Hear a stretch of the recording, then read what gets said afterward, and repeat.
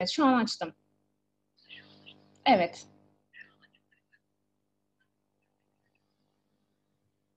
Tamamdır.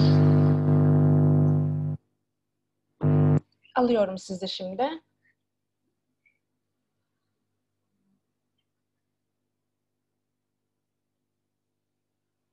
Başak Türkoğlu. Alıyorum. Tamamdır, sağ olun. Merhaba. Oldu, tamam, sağ olun. Duyuyor musunuz beni? Heh, Merhabalar, duyuyorum ben şimdi. Tamam, çok iyi. Odada şey, Pınar Hanım var diye maskeliyim. Yoksa maske mi Tamam. Tamam, bazen sorun oluyor da görüntü çıkmıyor, işte şey oluyor. Onun için denemek babındaydı. Ben kapatıyorum o zaman 3 gibi. Tamamdır, olur. 10 dakika önce falan bağlanırım. Tamam, translation'ı e, şey deneyelim mi isterseniz ama sesiniz duyuluyor gayet. E, Hande Hanım Sesim net geliyor mu? geliyor. Hande Hanım. Merhaba. Heh, merhaba Hande Hanım. E, Başak Hanım'ı duyuyor musunuz acaba net bir şekilde? Başak Hanım'ı duyuyorum. Az önce birinin kablosunda bir sorun vardı. Ee, o yüzden e, o kablodan cızırtı geliyordu. Şu anda gelmiyor. Bilemiyorum Başak Hanım'ın kablosu muydu? Yani bir e, kulaklık bağlantısıyla alakalı bir şey olabilir. Bilgisayara giren, şu anda da geldi mesela.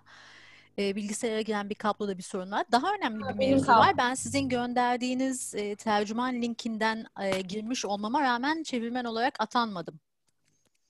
Daha Bir iyi. daha çıkıp gireceğim o yüzden şimdi. Pardon, benle ilgili bir sorun değil değil mi bu? Değilmiş, hayır. Tamam başkanım. Benimle ilgili, benim kulaklarımla ilgili sorunmuş. Üç Merhaba herkese. Merhaba. Merhaba. Merhabalar. Benim bir telefon almam gerekiyor da ben ayrılabilir miyim? Tabii ki toplantıda görüşürüz. Tamam, çok teşekkürler. Çok sağ olun. Hanım. Teşekkürler. Yani benim bildiğim kadarıyla bağlandığımda otomatik olarak açılan ekranda dillerin ve benim çevirmen olduğumun gözükmesi gerekiyordu.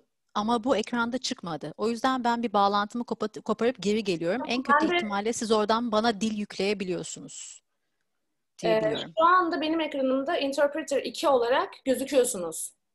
Ama bende e, dil seçeneği çıkmadıktan sonra benim dil seçimi yapıp çeviri yapmam mümkün değil. O yüzden e, çıkıyorum ve tekrar geliyorum. Tamamdır. Tamam. Tamam, görüşmek üzere. Görüşmek üzere. Ben şu ekranı bir paylaşayım nasıl oluyor bakayım. Ee, kayıt mı alıyor? Şunu açsanız. Ebru'yu alalım. Kayıt mı alıyoruz? Ee, kayıt alıyoruz evet. Ha. Beni bir şey yapar mısınız? Ekranımı paylaşmak istiyorum. Tamamdır.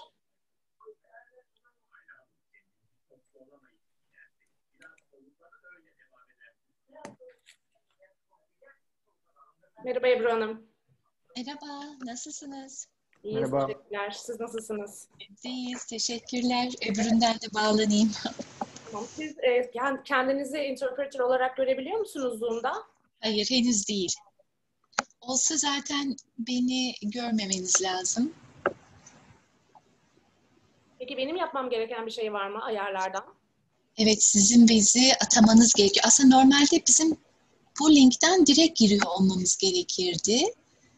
O olmadı. Ben bir daha bir gireyim. Siz bir saniye beni bekleyin. Müge bir beni şey yapar mısın? Şu ekranı deneyeceğim. Co-host. Tamam. E, nasıl yapıyorduk co-host Emir? Ben geçeyim mi Podem hesabına? Bende nasıl iki kişi kullanabiliyoruz böyle Bence işi öyle yapalım. Sen de gir için. modemden. Geçiyorum. Tamam. Şimdi... Ha, co-host. Tamam. Şu an yaptım seni. Aybars. Tamam. Bu arada şey e, Nicolas Meyer Landrup da bekliyor şeyde. Biraz sonra alırız onu da. Şimdi benim ekranımı görüyor musunuz? Ne görüyorsun? Şu an görüyorum. E, slide haline getirirsen. Heh, tamam süper. Tekrar Tamam. merhaba. Merhaba. Merhaba. Ee, seçeneklerden bizi galiba sizin tercüman atamanız gerekecek. Çünkü e, Ebru'da da çıkmıyormuş tercüman olduğumuz. Bende de gözükmüyor. Tamam. Şimdi yapacağız o işi. Tamam. Benim ekranım gözüküyor değil mi? Sıkıntı yok. Evet. Gözüküyor. Sıkıntı yok. Ben kendi hesabımdan giriş yapayım. Çıkıp. Yok aynı anda kullanabiliyoruz business olduğu için. Çıkmana gerek yok. Tamam. Şimdi şu çevirmenlerimizi bir halledelim arkadaşlar. Az Evet. kaldı. Ee, sadece ismini değiştirebilirsin Müge şeyden. Ha, tamam onu yapayım. Şimdi. Samueller geldi onları alıyorum. Tamam. Ee, olmuş mu şey ee, çeviri? Onlar şimdi tekrar bağlanıyorlar. Alayım onları. Ebru bağlandı.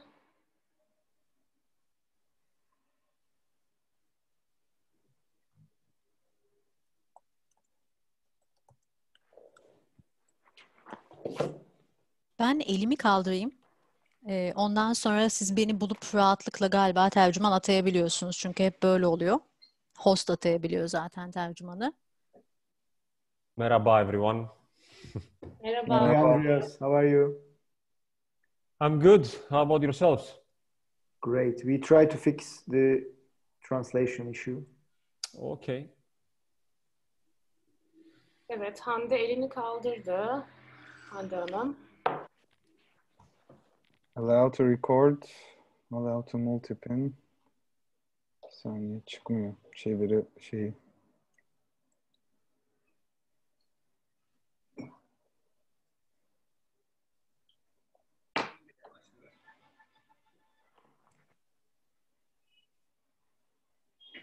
Hello, everyone.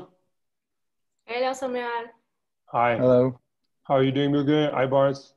Fine, Yeah. great. How are you, Samuel? We are trying to fix the interpretation issue.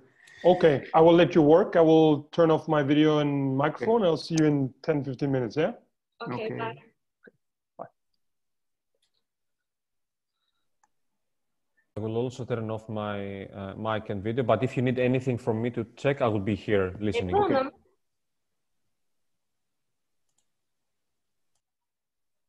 Evet, ne oldu arkadaşlar? Efendim? Heh, Ebru D diye biri e, waiting room'da bekliyor da bu Evet, o da asıl burada olma, olması gereken bilgisayarım. ekliyorum o zaman onu da. Tabii. Tamam, ben ekledim. Ee, interpretation atanmış şeklinde gözüküyor. Ee, ebrudiker.gmail.com ee, Evet.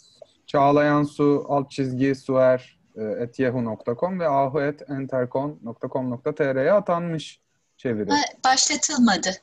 Hmm, nereden başlatıyoruz? Onu bulmam lazım o zaman.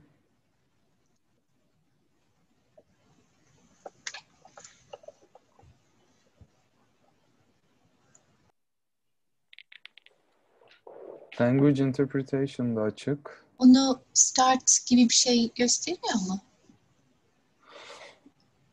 Bakıyorum.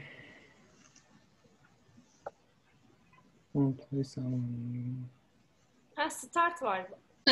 Ha, benim ekranımda gözükmüyormuş demek.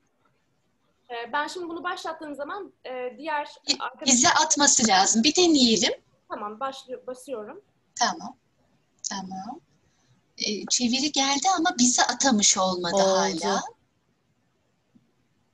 Ee, hayır ben hala şeydeyim. Galiba e, bir dakika Hande gitmiş olabilir mi? Hande'yi dinleyeyim.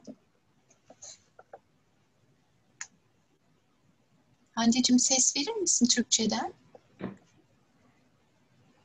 Tamam. Hande gitti. Müge Hanım beni de gönderirseniz oraya. Hande'ye yaptığınız şekilde. Hande'ye gitmiş. Uh, sorry, can I ask something just to double check uh, with you the interpretation? If someone wants to listen um, interpretation in English, they press the button English, English. correct? That's it. That's right. And those who want to listen in Turkish, they press the other button. Okay. That's right. And as long as the, you know, one of the speakers is speaking either English or Turkish, that channel remains open. So they can stay in the English channel. And if you speak English, they still hear you. So they don't need to worry. Do you see what I mean? Yes, yes, I do. Yeah. I do. Where, where do you see this English Turkish thing? Uh, next to the record button, there is interpretation On button. uh, on the right. Ben daha gidemedim Müge Hanım. Buradayım hala.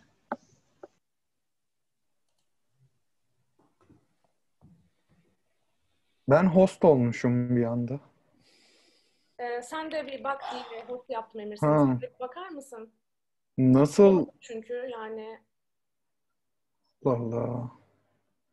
Otomatik atması gerekmiyor mu aslında interpretation'a? Burada çünkü e-mailler eklenmiş e, Zoom üzerinde. Geldi evet. Bir kere daha deneyeyim ama Hı hı. olmayacak gibi. Bir, bir daha bakayım.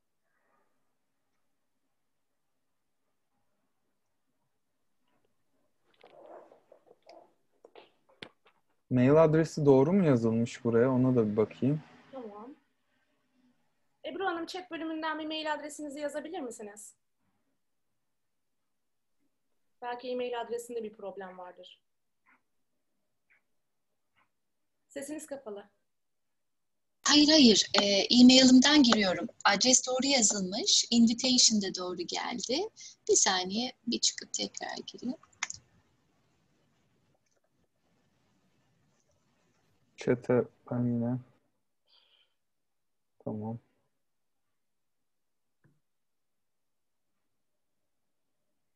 Ben dili görmüyorum arkadaşlar. Nereden? Ee, bu en aşağıda bir tane bar çıkıyor. Kendinizin Evet, videonuzu evet, kapattığınız evet, falan. evet. Orada e, share screen, record, e, reactions, interpretation. Evet, interpretation'a basıyoruz. Oradan İngiliz seçeceğiz. Tamam. ben İngilizce açtım. dinlemek istiyorsanız İngilizce, Türkçe ise Türkçe. Tamam. Ama Hande Hanım hala gözüküyor burada. Sen düşecekti. E, Hande Hanım girebildi e, kendi kısmına. E, Ebru Hanım giremedi diye anlıyorum. Ne yapacağız peki? Şimdi e, çık geri yapıyor galiba Ebru Hanım. Tamam. Çünkü toplandık toplantı başladıktan sonra galiba bunu değiştiremiyoruz. E, Adı başlamadım zaten şu anda. Yok. Yani Şu an başladı. Başladığı için değiştirilemiyor gibi de yani grilemiş edit this meeting'i. Ya bir daha açıp kapatmamız lazım yani. Muhtemelen. Net almadan bunu yapacaksa böyle yapalım hemen. Tamam kapatın bir daha açalım hemen. Yok yok o öyle bir şey değil. Toplantının reschedule edilmesi lazım. O zaman yeni link belirler. Şimdi girebilirse Ebru Hanım hiç böyle bir şeye gerek kalmayacak da. Ebru'yu kabul ediyorum. Canım, bekleyeni alabilir misiniz bir içeri? Aldım ben. Tamam, aldınız mı? Tamam.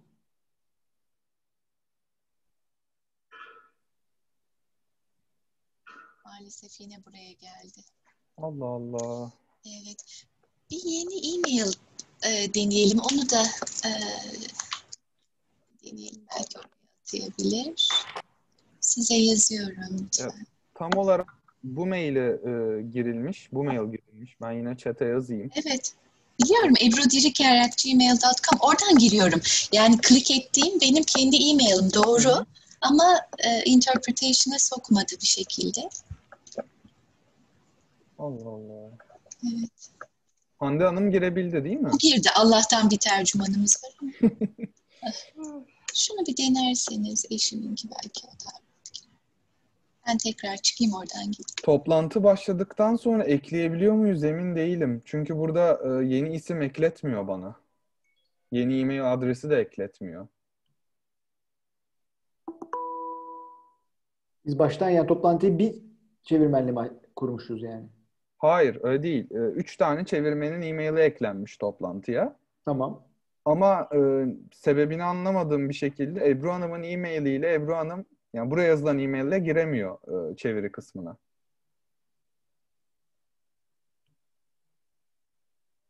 Host şu anda ben ben oldum bir anda da. Aldım Tuğba'yı ben. Tamam. Post yapayım mı kendime Emir? Olur. Tamam. Ya ben herhalde Sen ben mi beni- sen beni kurmadığım için misin? efendim? Sen beni yapabilir misin? Sen yapabilirsin de. Sen beni host yap. Tabia'yı da aldım. Buyurun. Tamam. Ben bir şimdi Ee, tekrar bakayım. Herhalde ben schedule etmediğim için mi izin vermiyor bana acaba? Zannetmiyorum. Müge baksın o yere, aynı yere. Senin gri gördüğün yeri Müge nasıl görüyor? Ee, we- web'den ayarlanıyor bunlar Ha, web yani. sitesinden şimdi bakıyorum. Evet. Müge yaptıysa Müge ayarlar belki. Yalnız az vakit kaldı ha. 5 dakika var. Evet. Selam. Selam. Nasılsın? İyiyim sağ olun. Siz nasılsınız? İyi valla. Çeviri işini çözmeye çalışıyoruz. Çeviri işini. Evet. Ha. İlk defa yapıyoruz. Nasıl gireceğiz bu toplantıya? Bizim kameramızın kapalı mı olması gerekiyor açık mı? O sana bağlı. Nasıl istersen. İyi tamam kalabilir o zaman. Evde misin? Efendim? Evde misin? Evdeyim evdeyim evet. Çalışma köşemde yemek masasının bu köşesi gidip çalışma köşem. Benim de öyle. Sevilla. Ee, Edit'e bana da izin ver. Hi Andreas, how are you? Samuel. But anyway, yes. And Andreas is Hi also there. Samuel, hi Samuel, how are you? Very well, thanks. And you? Fine, I'm good. Good to see you. Good Sorry, to I, see you I after a was long doing something time. else. Nice to see you, Sabiha. Hi, nice to see you Andreas. How are you doing? Fine, fine, not bad. We are healthy, so we are good. That's the most important thing. Efe'yi de aldım. Evet nedir durum? Şöyle, şuraya yazıyorum. Yani şu şekilde var, e, kayıtlı gözüküyor şu anda şeyde, e, ayarlarda. Bir e-mail'ı e, ekleyebiliyor musunuz? Peki şu an ekleyemiyorum. Müge Hanım, Hande Türkçeden konuşuyor. Bir dinleyebilirsiniz. Pardon.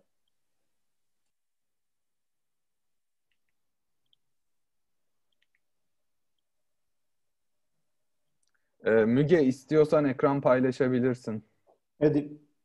Tamam, ekran paylaşayım ben. E, göstereyim size. E, benim ismimin üzerine gidip sağ tıklayınca atayamıyor musunuz beni Müge Hanım? Şimdi görebiliyor musunuz ekranımı?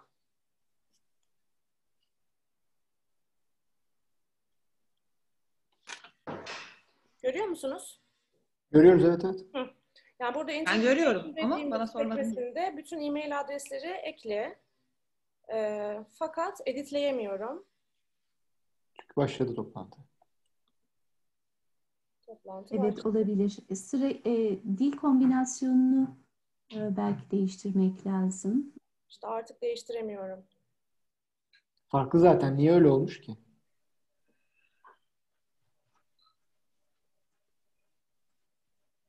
Gerçi Türkçe de İngilizce, İngilizce de Türkçe. Evet. Aşağıda edit meeting var. Oradan yapılamıyor mu acaba? İzin vermiyor. Vermiyor izin. var izin vermiyor. Anladım. Tıklayamıyorum üzerine. Ne yapacağız peki?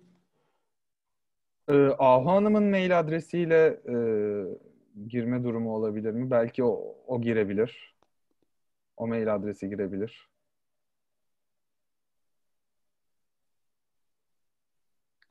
Şimdi yalnız bakın orada Türkçe'den İngilizce yazıyor. Ahu'nunkinden olması lazım.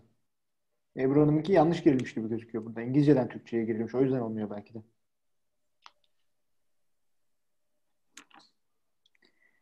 Biraz 5 dakika kaldı. Almamız lazım insanları yavaş yavaş içeriye. Ee, Ebru Hanım.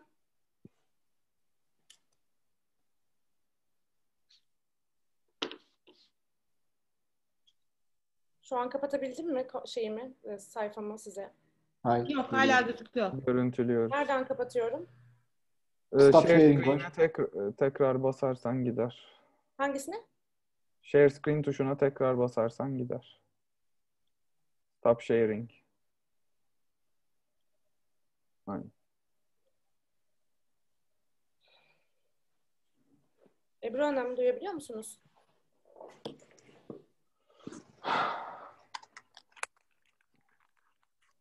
Hande Hanım'ı duyabiliyor muyuz? Hande Hanım siz bizi duyabiliyor musunuz? Ee, Hande Hanım'ı Türkçe kanalına geçersek duyabiliyoruz. İngilizce'de mi? Niye? İngilizce duymamız gerekmiyor mu? Türkçe'de bir kanal yok bende burada zaten. Off İngiliz var sadece.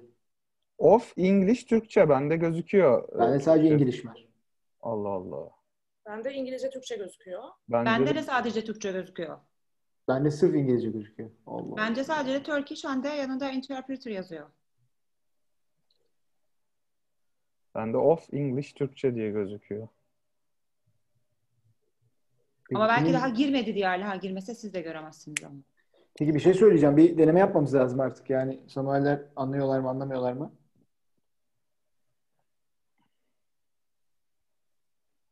Kimse bizi duymuyor mu çevirmenlerden şu an? Hande Hanım Türkçe'de e, konuşuyor. Ben duymuyorum ama. Evet, e, Türkçe kanalına gelirlerse diyor. Yok. şeyde Aybars Bey'de sadece Türkçe kan- Türkçe kanalı yok. Büyük ihtimalle eski versiyon kullanıyor çünkü.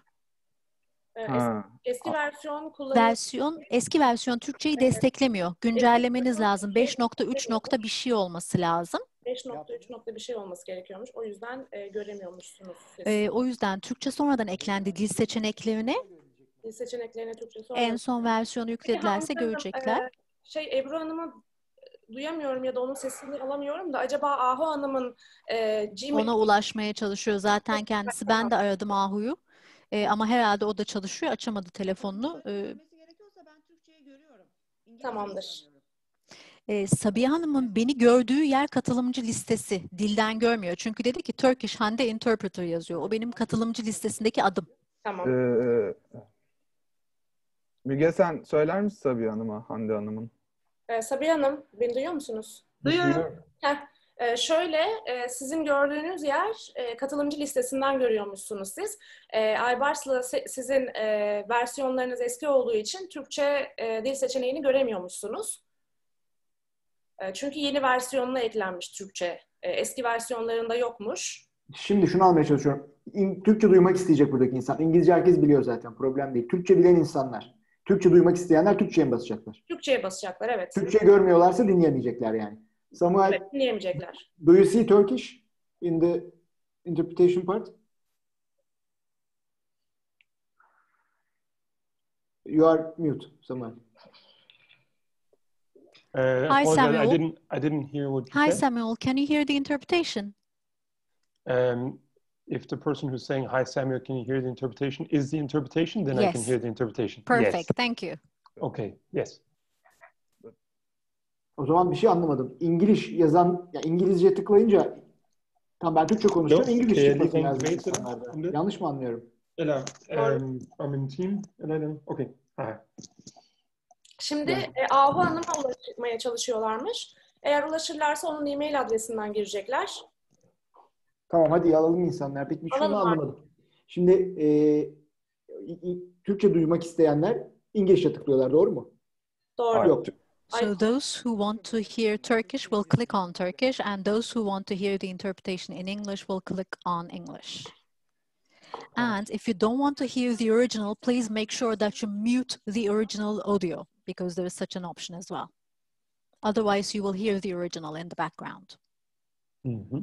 Aynı şey Türkçe kanalı için de geçer. Türkçe kanalını seçtiğinizde de İngilizce kanalını asla Tamam bir başlangıçta bu duyuruyu bir yapar mısınız o zaman e, herkese? Alalım artık insanları içeriye. Tamam. Aldım.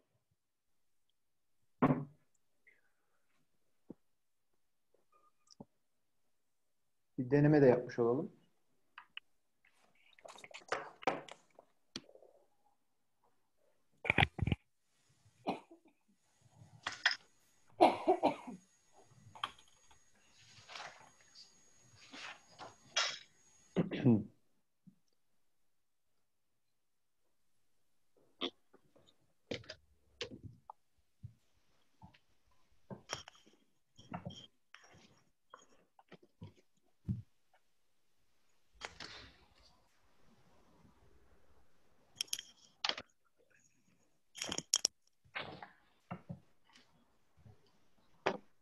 Katılımcıları kabul ediyorum. Probleem niet. Ja, als er niet te veel... eh, Nee, nee, nee, maar enfin, ik wil dat dan ook niet laten gisteren, want morgen ben ik er dan niet. Ik wil ook vermijden dat die twee constant het, eh, aan het klippen zijn over. Kim konuşuyor? Bir çeviriyle ilgili durumu bir açıklayabilir miyiz arkadaşlar başlamadan önce?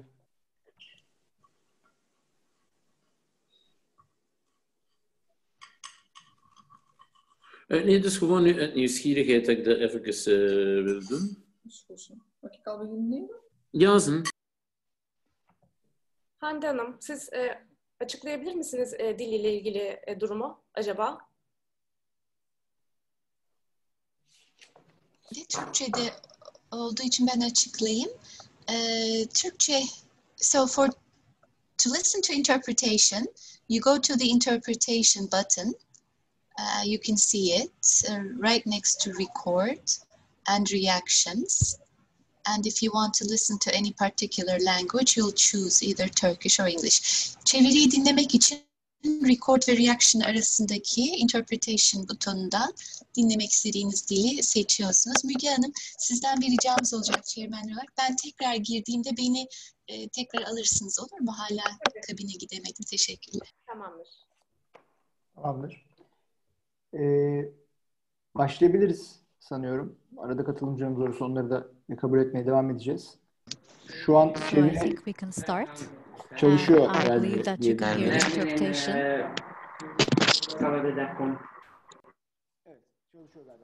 Yes, I think you can hear the interpretation. So we can start. Welcome to our meeting, first of all. Geleceğin değerlerini anlamak, AB ve Türkiye'de gençlik ve etkileşim başlıklı araştırma projemizin e, bulgularını sizlerle paylaşmak için bir araya geldik. E, projemiz Avrupa Birliği Başkanlığı koordinasyonunda e, Sivil Toplum Diyaloğu 5. dönem programının bir parçası. İhale Kurumu'nda Merkezi Finans ve İhale Birimi. Aslında projemiz e, ilkbaharda sona erecekti.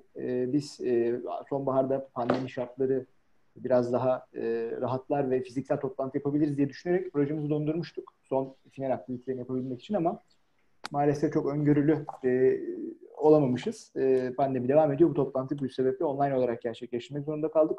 Aslında Brüksel'de Avrupa Parlamentosu'nda ve İstanbul'da iki geniş katılımlı toplantıyla bulguları kamuoyuyla paylaşmayı hedeflemiştik ama şimdi bu iki toplantıyı bir araya getirerek e, bir webinar ile projemizi sonlandıracağız. E, programımıza bugün iki değerli büyükelçimizin açılış konuşmalarıyla başlayacağız. E, Avrupa Birliği Türkiye Delegasyonu Başkanı Büyükelçi Nikolaus Meyer-Landrut ve AB ile İlişkiler Genel Müdürü Büyükelçi Başak Türkoğlu'nun konuşmalarını dinleyeceğiz önce. Ardından e, ben ve e, bu projeyi gerçekleştirdiğimiz e, Brüksel merkezli ortağımız European Neighborhood Council Direktörü Samuel Westerbay birlikte projenin ana bulgularını sizinle paylaşacağız. Daha sonra da gene e, European Neighborhood Council'dan Andreas Marizis moderatörlüğünde de bir tartışma ve soru cevap kısmı yapmayı e, hedefliyoruz. E, Samuel, would you like to say a couple of words uh, before we go to keynote speeches? Yeah, thank you, Ibars. Um, I Evet, just çok wanted teşekkür ederim Aybars. Özellikle yeni e, AB Büyükelçisi'ne çok teşekkür etmek istiyorum Nikolaus Mayer-Landrut'a ve e, Sayın Büyükelçi Başak Türkoğlu'na da teşekkür etmek istiyorum. E, çok nazik davrandılar. Bugünkü davetimizi e, kabul ettiler ve katıldılar bu toplantıya. Aynı zamanda tabii ki delegasyon çalışanlarına da teşekkür etmek istiyorum. Bütün çalışmalarımıza yardımcı oldukları için ve buna benzer toplantılarda her zaman e, vakit ayırıp bize katıldıkları için. Ben kısaca e, projemizden bahsetmek istiyorum. Nispeten biraz daha zorlu ilişkilerimizin olduğu bir aşamada, ilişkimizde bir takım zorlukların olduğu bir aşamada başladı bu proje. Dolayısıyla insanlar arasındaki e, bağlantı, temaslar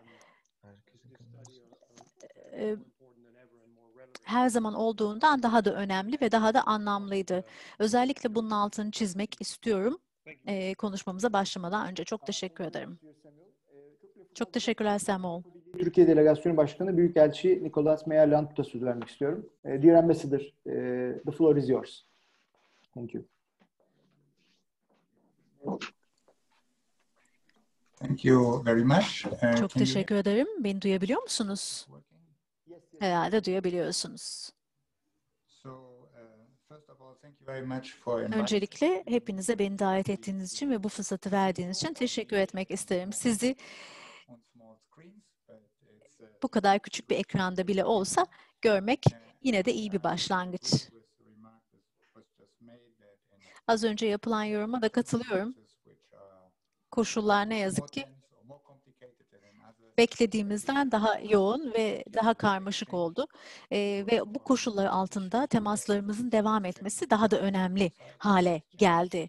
Yani sivil toplumun böyle bir etkileşim içinde devam ediyor olması çok önemli hale geldi. Ee, ben de sizin çalışmanızın bulgularını dinlemeden önce kısaca birkaç yorum yapmak istiyorum. Çok teşekkür ediyorum. Öncelikle beni davet ettiğiniz için Sayın Görgülü. to Ambassador E, Sayın Büyükelçi Türkoğlu'nu da birkaç dakika içinde dinleyeceğiz. Kendisinin de bu konuyla ilgili görüşlerini duyma fırsatımız olacak.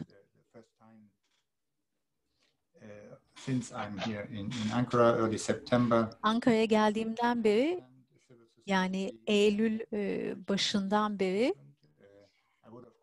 ilk defa böyle önemli bir sivil toplum toplantısına katılıyorum. Tabii ki e, keşke bir odada buluşabilseydik, orada görebilseydik sizi ama ne yazık ki fırsat olmadı.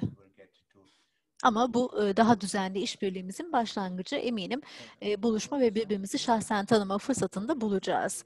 PODEM'e çok teşekkür etmek istiyorum ve bu, e, bu projeye katkıda bulunmuş olan bütün paydaşlara teşekkür etmek istiyorum. Tabii ki sadece pandemi ve kısıtlamalar ışığında değil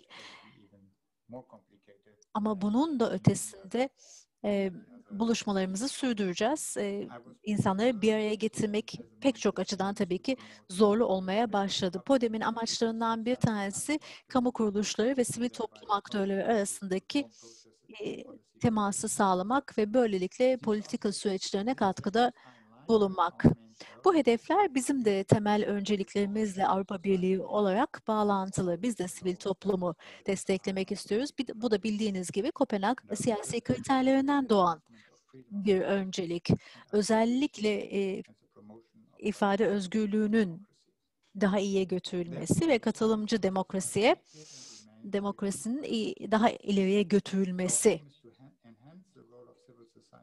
bizim için önemli ve özellikle sivil toplumun rolünün arttırılması ve kamu kurumlarının da sivil toplumla ilişkilerinde ve e, işbirliklerine desteklenmesi bizim için önemli. Sivil toplum e, ve Avrupa arasında, Türkiye'deki sivil toplumla Avrupa arasındaki ilişkileri de güçlendirmeyi amaçlıyoruz. Bu bağlantıda e, sivil toplum diyalog programı yani bu araştırmanın üzerine kurulduğu program. Dışişleri Bakanlığı tarafından birlikte uyguladığımız bir program ve tam olarak da amacı bu. 2008'de kurulduğundan bu yana Avrupa ve Türk vatandaşlarını bir araya getirmek için Avrupa Delegasyonu ve bakanlık pek çok çalışma yaptı. Bütün bu girişimler tabii ki çok daha iyi bir karşılıklı anlayışı beraberinde getiriyor. Sadece bu projelere dayan, e, dahil olanlar değil, aynı zamanda bu projelerle hayatına dokunduğumuz insanlar içinde. Projenizin bulgularını büyük bir merakla e, bekliyorum. Bu eminim hem Türkiye'deki gençlerin hem de AB ülkelerindeki gençlerin fikirlerini bize aktaracak gençlik sivil toplumun en önemli parçalarından bir tanesi ve onlara da e, onları da bu sürece dahil etmeliyiz. Özellikle de ilişkimizin önemi konusunda kamuoyunu etkilemek için gençler için çalışmak ve gençlerle çalışmak önceliğine sahibiz. Sivil toplumu destekleme alanında aynı zamanda genel ortamı da iyiye götürmek yani sivil toplumun içinde çalıştığı atmosferi daha iyiye götürmek, düzenli iletişim ve e, politika süreçlerine aktif katılımı sağlamak da çok önemli. Gençlerin süreçlere katılımı, bu ülkenin geleceğini ve Avrupa Birliği ile ilişkileri şekillendirmesi zaten el ele ilerleyen süreçler. Sözlerimi tamamlarken özellikle Türkiye Dışişleri Bakanlığı'na bu projeye ve bu programa sürekli destek verdikleri için teşekkür etmek istiyorum. Bütün e, kamu kuruluşlarında bu proje bulgularını ve diğer projelerin bulgularını daha aktif bir şekilde kullanmaya davet ediyorum. Son olarak da şunu ifade etmek isterim. Tabii ki gerçekten bir masa etrafında oturup e, bir çay içip sizinle bu konuyu yüzde tartışmayı tercih ederdim. Birlikte bir çay kahve içerdik daha iyi olurdu. Daha e, gayri resmi bir e, bilgi alışverişinde de bulunurduk. Ama inşallah daha kısa bir süre içinde buna ulaşacağız. Teşekkür ederim. Çok teşekkürler Sayın Büyükelçi. Bu açılış sözlerinizden dolayı biz de sizinle e, çalışmayı dört gözle bekliyoruz ve yeni görevinizde de size başarılar diliyoruz. Sayın Büyükelçi e, Başak Türkoğlu'na vermek istiyorum. Sayın Büyükelçim buyurun. Söz sizin. Aybars Bey çok teşekkür ederim. Herkese merhabalar. E, ben de Büyükelçi Meyer Landrat e, gibi e, bu projenin kapanış oturumuna katılmaktan dolayı duyduğum memnuniyeti öncelikle ifade etmek istiyorum. İki yıldır bu görevdeyim. Belki de en hoşuma giden, e, en e, sonuçlarının verimli olacağını düşündüğüm bir proje bu. e, AB'ye katılım sürecimiz boyunca gerçekleştirdiğimiz pek çok kapsamlı reformlar oldu. İşte anayasa değişti, mevzuat değişiklikleri oldu, yeni kurumlar e, hayata geçirildi. Ama en önemlisi bu yolculukta çok yönlü bir zihinsel dönüşüm e, toplum olarak yaşamamız oldu diye inanıyorum.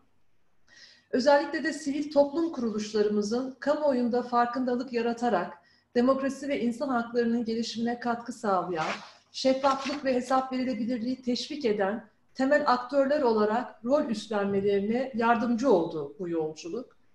Ee, tabii bu zihinsel dönüşümde en az sivil toplum kadar genç nüfusumuzun hayata bakış açısı ve geleceğe yönelik beklentileri, talepleri de belirleyici unsur olarak resme giriyor.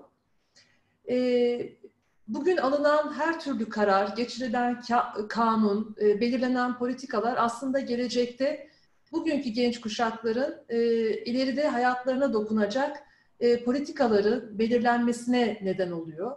E, o nedenle de bu politikalar belirlenirken mutlaka gençlerin de e, bir söz hakkının olması gerekiyor. Belki bu açıdan yaklaşıldığında e, seçilme yaşının 18'e düşürülmesi bu yönde atılmış olumlu bir adım oldu. E, kendi sorunlarını kendi yaşayan ve bunları bizatihi kendisi dile getiren e, genç nüfusun e, aynı zamanda bu sorunlara e, çözümün de bir parçası olması gerekiyor. Bu nedenle ister sivil toplum, ister siyaset, ister akademik dünya, ister iş dünyası e, genç e, kuşağın söz hakkının her yerde olması gerekiyor.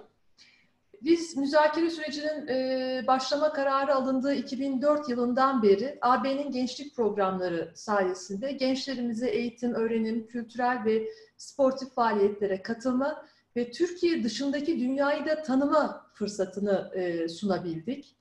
E, örneğin Erasmus Plus e, kapsamında 2004 yılından bu yana 157 bine yakın proje başvurusu alındı. 34 bine yakın proje kabul edildi ve bu projelere yaklaşık 1 milyar 300 milyon hibe verildi. Toplam 670 binden fazla da katılımcı bu programlardan istifade etti. Bu rakamların çarpan etkisini de dikkate aldığımızda ne kadar önemli bir dönüşüme yardımcı olduğunu tahmin edebiliriz. 81 ilimizde tanıtım ve bilgilendirme faaliyetleri düzenliyoruz biz AB Başkanlığı olarak.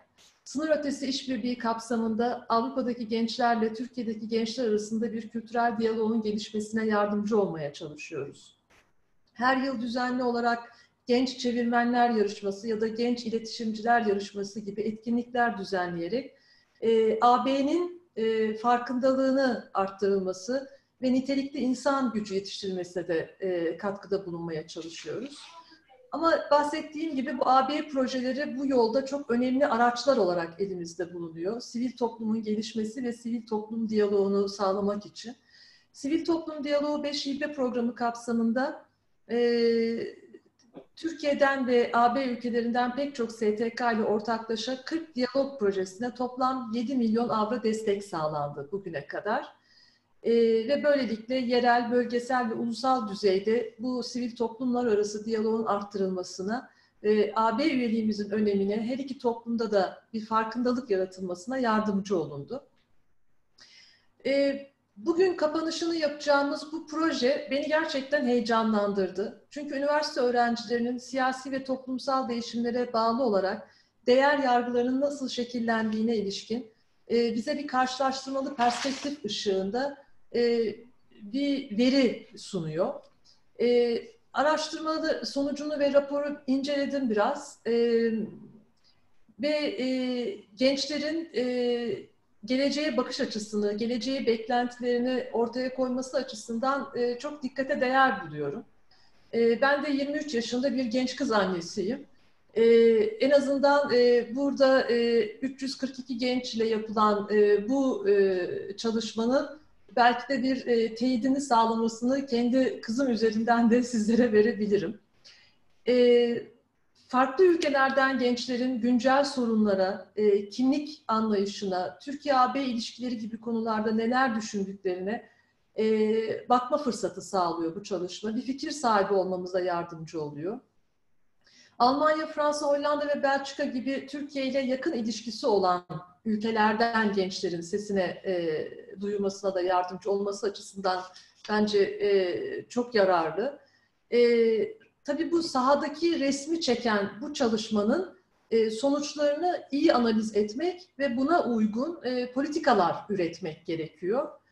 E, bu açıdan da e, projenin e, göçmen, Müslüman, mülteci, yabancı, fakir, kırsal gibi e, bir takım kimliklerden bağımsız olarak e, tüm gençlerin e, farklı backgroundlardan, ülkelerden gelseler bile ortak paydalarda buluşabildiğini göstermesi açısından ve bu ortak paydaların da e, umut verici paydalar olduğunu göstermesi açısından e, çalışmayı yürüten herkese teşekkürlerimi tekrar sunuyorum. Biz AB'nin gençlik stratejisinin uygulanmasını e, yakından takip ediyoruz. Türkiye'de de 2023 vizyonu doğrultusunda hazırlanan Ulusal Gençlik Strateji raporundaki önceliklerimiz doğrultusunda önemli politikalar geliştirilmesine e, önem veriliyor. Dünya nüfusunun yaklaşık yarısının 25 yaş altı olduğu e, bir ortamda gençlerin şiddete, aşırılığa, ayrımcılığa, yabancı düşmanlığına maruz kalan bir kesimi oluşturduğu da tabii ki bir gerçek. E, bu gerçeği de göz önünde bulundurduğumuzda e, bazı uluslararası örgütlerde, Birleşmiş Milletler gibi işte bir takım e, belgeler geliştirildiğini, ortaya konduğunu da görüyoruz. Bunlar da yine umut verici çalışmalar. Ama uluslararası alanda da olsa, AB ile ilgili ilişkilerimizde de olsa genç kuşakların aralarındaki hızlı etkileşim, diyalog, anlayış ve saygı ile sorunların çözümünde diğer aktörlere oranla daha etkin e, olabileceğini düşünüyorum. Buna gerçekten inanıyorum.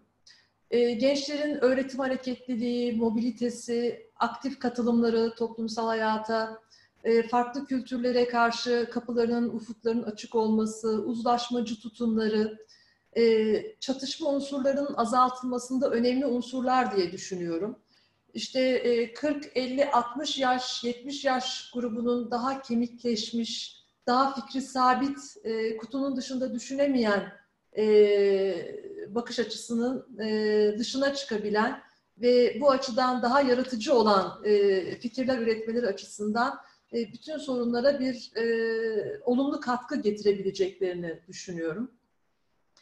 aynı şekilde bu Türkiye ve AB ilişkileri açısından da geçerli. E, her iki tarafta da birbirlerine karşılıklı ön yargıyla ve e, daha sabit fikirlerle yaklaşan e, bu düşünce sistematiğini belki yeni kuşaklar her iki taraftan da hem AB ülkelerinden hem Türkiye'den yeni kuşaklar daha kolaylıkla kırabileceklerdir. Ee, çalışmanın e, sonuçlarında e, tüm gençlerin kendilerini açık görüşlü, barışın savunucusu, dünya vatandaşı, ya da ön yargı ve kalıplardan uzak gibi e, sıfatlarla tanımlamaları gerçekten dikkate değer. E, farklılıklara saygılı ve hoşgörülü e, bir e, gençlik e, kuşağını temsil ediyorlar.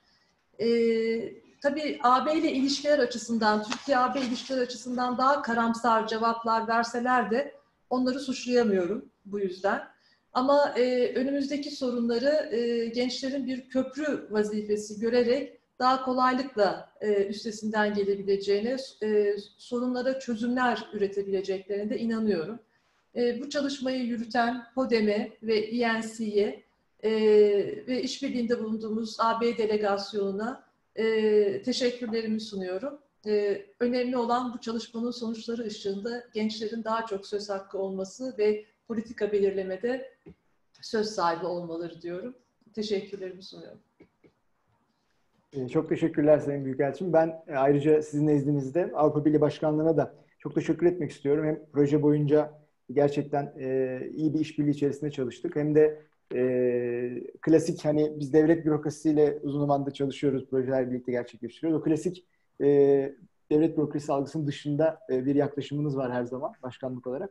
E, dolayısıyla bir sivil toplum kurumu olarak e, sizinle çalışmaktan her zaman çok büyük keyif alıyoruz. E, bugünkü e, AB Başkanlığı'nın katılımı için de ayrıca teşekkür ederiz size. Ben artık e, proje bir e, sunumuna geçmek istiyorum. E, bir desktop'umu şu an gözüküyor mu acaba? Şunu da bir tam ekran yapayım. Evet. E, projemiz e, açılış konuşmalarında da biraz değinildi aslında. Üniversite gençliğine odaklanan bir algı e, çalışması, bir gençlik çalışması aslında. Gençlik değerlerini ve algılarını anlamaya çalışan bir çalışma. E, Türkiye'de ve e, 4 Avrupa Birliği ülkesinde gerçekleştirdik. Bu çalışmayı Almanya, Hollanda, Fransa ve Belçika bu Avrupa ülkeleri. E, araştırma sonunda Türkiye sahası ve Avrupa sahası iki ayrı rapor halinde ortaya çıkarttık. Bir de ayrıca bu iki e, sahayı birbiriyle kıyaslayan bir e, yönetici özeti ortaya çıktı. Aslında yani üçer tane İngilizce ve Türkçe toplam altı tane rapor ortaya çıkmış oldu. Bunların hepsini de bugün bu toplantının ardından web sitemize koyacağız. Oradan daha detaylı inceleyebilirsiniz. E, çalışma aslında üniversite öğrencilerinin e, üniversite gençliğinin e, hayat memnuniyetlerini, aile değerlerini, toplumsal cinsiyete bakışlarını, kendilerini ifade ederken ön plana çıkarttıkları değerleri genel olarak hayata ilişkin algılarını keşfetmeyi amaçlıyor. E, buna ek olarak e, biraz da siyasi gelişmeler, Avrupa'ya bakışları, Türkiye'ye bakışları, Türkiye-Avrupa Birliği ilişkilerine bakışları, Türkiye'nin ve Avrupa'nın karşı karşıya olduğu sorunlara, e, gündem maddelerine karşı görüşlerini de e, ve tabii Türkiye-Avrupa Birliği ilişkilerine yönelik algılarını da anlamaya e, gayret ettik bu çalışmada. E, kısaca başlamak gerekirse bu e, özellikle e, kimliğe ve e, hayata dair öz algıları bölümünde e, gençlerin hayattan memnuniyetlerini, e, hayatta en çok değer verdikleri ve en az değer verdikleri şeylerin ne olduğunu, e, farklılıklara gösterdikleri hoşgörü seviyesinin ne olduğunu biraz anlamaya çalıştık. E, hayatta nasıl karar aldıklarını e, inceledik, sosyal katılım e, meselesine odaklandık, geleceğe dair beklentileri ve kaygılarını baktık. E, başta da söylediğim gibi Türkiye ve Avrupa'ya ilişkin görüşleri çerçevesinde de genel olarak Türkiye ve Avrupa algısı, Türkiye'li olmak nedir, Avrupalı olmak nedir, bundan ne anlıyorlar, hangi kavramlar kafalarında canlanıyor. Bunları anlamaya çalıştık. Ee, Erasmus programı, buna değineceğim. Erasmus programını niye kullandığımızı da çok kısaca metodoloji bölümünü anlatırken. Erasmus'a bakışları, Erasmus deneyimi olan öğrencilerin e, görüşleri. E, ayrıca başta da söylediğim gibi Avrupa Birliği, Türkiye e, ilişkilerin olan bakışları ve genel olarak Türkiye ve Avrupa Birliği'nin karşı karşıya kaldığı sosyal, siyasi, ekonomik sorunlara karşı algılarını anlamaya çalıştık. E, metodolojiden çok kısaca bahsetmek istiyorum. Üç aşamalı bir metodoloji izledik burada. E, önce bir e, keşif çalışması veya işte explanatory study diyeceğimiz kısımda e, bir literatür taraması yaptık. Daha önce bu alanda yapılmış olan çalışmaları inceledik. E, iki tane de e, uzman çalıştayı yaptık. Biri İstanbul'da, Türkiye'de, biri de Brüksel'de. E, gençlik üzerine çalışan uzmanlar, akademisyenler, e, Erasmus ofislerinde çalışan uzmanlar ve tabii ki üniversite öğrencilerine dahil ettiğimiz bu çalışmalarda, bu çalıştaylarda e, saha çalışmasına çıkmadan önce toplayabildiğimiz kadar veri toplamaya çalıştık. Soru formumuzu oluşturmak adına e, danıştık e, bu toplantıya katılan kişilere. E, saha çalışması e, kısmını şu şekilde yaptık. E, yarı yapılandırılmış bir mülakat formu hazırladık. E, Erasmus programını şöyle kullanmak istedik. Biz Erasmus programı biliyorsunuz en az 3 ay yapılan e, bir e, eğitim değişim programı e, bu programın e, gençlerin değer yargıları ve algıları üzerinde genel olarak, dünya bakışları üzerinde, Türkiye'ye, Avrupa'ya bakışlarında bir etki yarattığını düşündük ve bunu biraz anlamaya çalıştık. Bunu anlamak için de mülakat yapacağımız üniversite öğrencilerini seçerken Erasmus'a katılmış öğrencilerin yanı sıra hiç Erasmus programı yapmamış e, öğrencilere de odaklandık. E, burada şunu da, e, özellikle Türkiye özelinde şunu da hedefledik. E, çalışmada da bu çıktı biraz. E, Erasmus programı aslında Türkiye'deki üniversite öğrencilerinin e, yurt dışındaki aslında ilk deneyimleri oluyor çoğu zaman. Belki daha önce ufak bir ziyaret için, bir akraba ziyareti için veya bir ufak tatil için yurt dışına çıkmış olsalar da ilk ciddi yurt dışı deneyimi Erasmus programı sayesinde oluyor ve uzun süreli bir program olduğu için gençlerin e, hayata bakışları üzerinde önemli bir etki yarattığını düşünüyorduk. Dolayısıyla e, bu anketleri hem Erasmus yapmış hem yapmamış öğrencilerle yaptık ve aradaki farkları gözlemlemiş çalıştık. Ben e, sonuçları sunarken bunlara da değineceğim. Avrupa sahasında da e, Türkiye'ye gelip Erasmus yapmış öğrencileri ve Türkiye'ye e, yine hiç Erasmus yapmamış öğrencileri e, mülakata dahil etmiş olduk. Yani sonuç olarak böyle dört tane grup çıkmış oldu ortaya. Türkiye'de Erasmus yapmış ve yapmamış e, öğrenciler ve Avrupa'da Türkiye'ye gelerek Erasmus yapmış ve hiç Erasmus yapmamış öğrenciler. Dört tane ana odaklandığımız öğrenci e, grubu ortaya çıkmış oldu. E, bir de ek olarak aslında biraz daha şeyi güçlendirmek adına, çalışma örnekleminizi güçlendirmek adına bir tane de online survey oluşturduk. Bunu da bu Survey Monkey üzerinden bir çevrimiçi anket şeklinde gerçekleştirdik. Burada da Erasmus deneyimi olan ve olmayan e, Türkiye'ye katılımcı olmak üzere sadece Türkiye'deki e, Türkiye'den katılımcılara gerçekleştirdiğimiz bir e, anket oldu. Bu toplamda 147 kişiye, e, 147 öğrencinin bunun cevaplamasını sağladık. E, ve Türkiye'deki saha bulgularını destekleyici şekilde bunu da e, kullanmaya çalıştık. E, ekteki slaytta e, çalışmanın gerçekleştirildiği şehirleri görüyorsunuz Türkiye'de ve Avrupa'da e, hemen hemen e, coğrafi olarak e, geniş bir alana yayılmaya çalıştık. E, büyük devlet üniversitelerini hedefledik. Özel üniversiteleri de hedefledik bu şehirlerde. Yani İstanbul deyince sadece İstanbul bir üniversiteye odaklanmadık. Çeşitli üniversitelere odaklandık. E, dolayısıyla kapsamlı bir e, çalışma oldu. E, toplam e, 111 tane derinlemesine görüşme gerçekleştirdik e, bu sayede Türkiye'de. E, online e, çalışmaya da 147 öğrenci katıldığını bahsetmiştim. Avrupa'da da 84 e, gençle derinlemesine mülakat yapıldı. Toplam 342 kişiye ulaşmış olduk bu proje çerçevesinde. E, bu gibi tabii genel bir resim çiziyor. Yani örneklememiz çok büyük bir örneklem değil. E, genel bir fikir vermesi e, açısından değerlendirmek belki e, uygun olacaktır diye düşünüyorum metodolojik anlamda da. E, şurayı geçmiştik. Evet, birazcık saha bulgularına e, ben e, değinerek başlamak istiyorum. E, gençlerin eğitim e, e, eğitim aldıkları daha önceki kurumları sorduk. Yani lise eğitimlerini hangi kurumda tamamladıklarını. Çok büyük çoğunluğu devlet okulları mezunu. E, hem Avrupa'da hem Türkiye'de bu şekilde. Çok az bir kısmı özel okul mezunu olduğunu belirtti. Gençlerin gelirlerinin kaynaklarını sorduk. Yine çok büyük bir çoğunluğu, özellikle Türkiye'dekiler e, aile harçlıkları e, ve e, devlet kredileri, öğrenci kredileriyle geçimlerini sağladıklarını söylediler. Türkiye'de çok fazla e, çalışan e, üniversite öğrencisi profili yok maalesef. Avrupa'daki sahada Samuel biraz daha detaylı anlatacak onu. Öğrencilerin aynı zamanda e, ek işler yaparak kendilerine harçlık kazandıklarını daha çok görüyoruz Avrupa örneğinde bu. Ama Türkiye'de daha çok harçlıklı ve burs veya devlet ve öğrenci kredileriyle geçimlerini sağlıyorlar. Yurt dışı deneyimlerini sorduk. Ee, kısa vadeli olarak kısa süreli küçük seyahatler yapıldığını söyledi gençler çoğunlukla. Bazılarının Erasmus programı sayesinde ilk yurt dışı deneyimleri gerçekleşti. Bunun dışında turistik geziler, dil kursuna katılmak gibi eğitim amaçlı veya akraba ziyareti gibi sebeplerle yurt dışına gittiklerini söylediler gençler daha önce. Yabancı dil bilgilerini de sorduk. Ee, değişim programı deneyimi olan e, katılımcılar hem Türkiye'de hem Avrupa'da e, diğerlerine kıyasla yani hiç bu deneyime katılmamışlara kıyasla daha iyi e, yabancı dil, daha üst seviye yabancı dil bildiklerini belirttiler. Ayrıca da şunu da fark ettik. Erasmus programına katılan öğrencilerin gittikleri ülkelerin dilini ve kültürünü öğrenme isteği duyduklarını belirttiler ve yabancı dilleri mesela Almanya'ya giden bir öğrenci Almanca öğrenmeye heveslendiğini anlattı. Bu da aslında Erasmus programının hani farklı kültürler ve dilleri öğrenme isteğini teşvik etmesi açısından önemli bir e, işlev gördüğünü e, bize söylüyor aslında bakarsanız. E, katılımcılarımıza mevcut hayatlarından ne kadar memnun olduklarını e, bize puanlamalarını istedik. E, bir hiç memnun değil, beş çok memnun şeklinde. Türkiye'deki katılımcılar memnuniyet seviyelerini beş üzerinden üç olarak bize bildirdiler. E, ve bu mutluluğu belirleyen faktörler nedir diye sorduk onlara.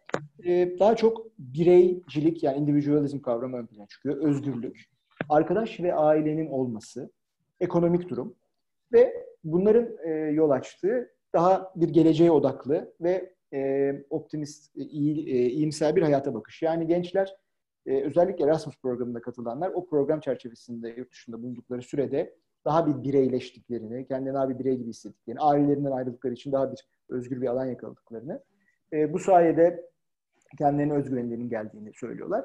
E, bu e, kavramlar en çok dile getirilen kavramlar.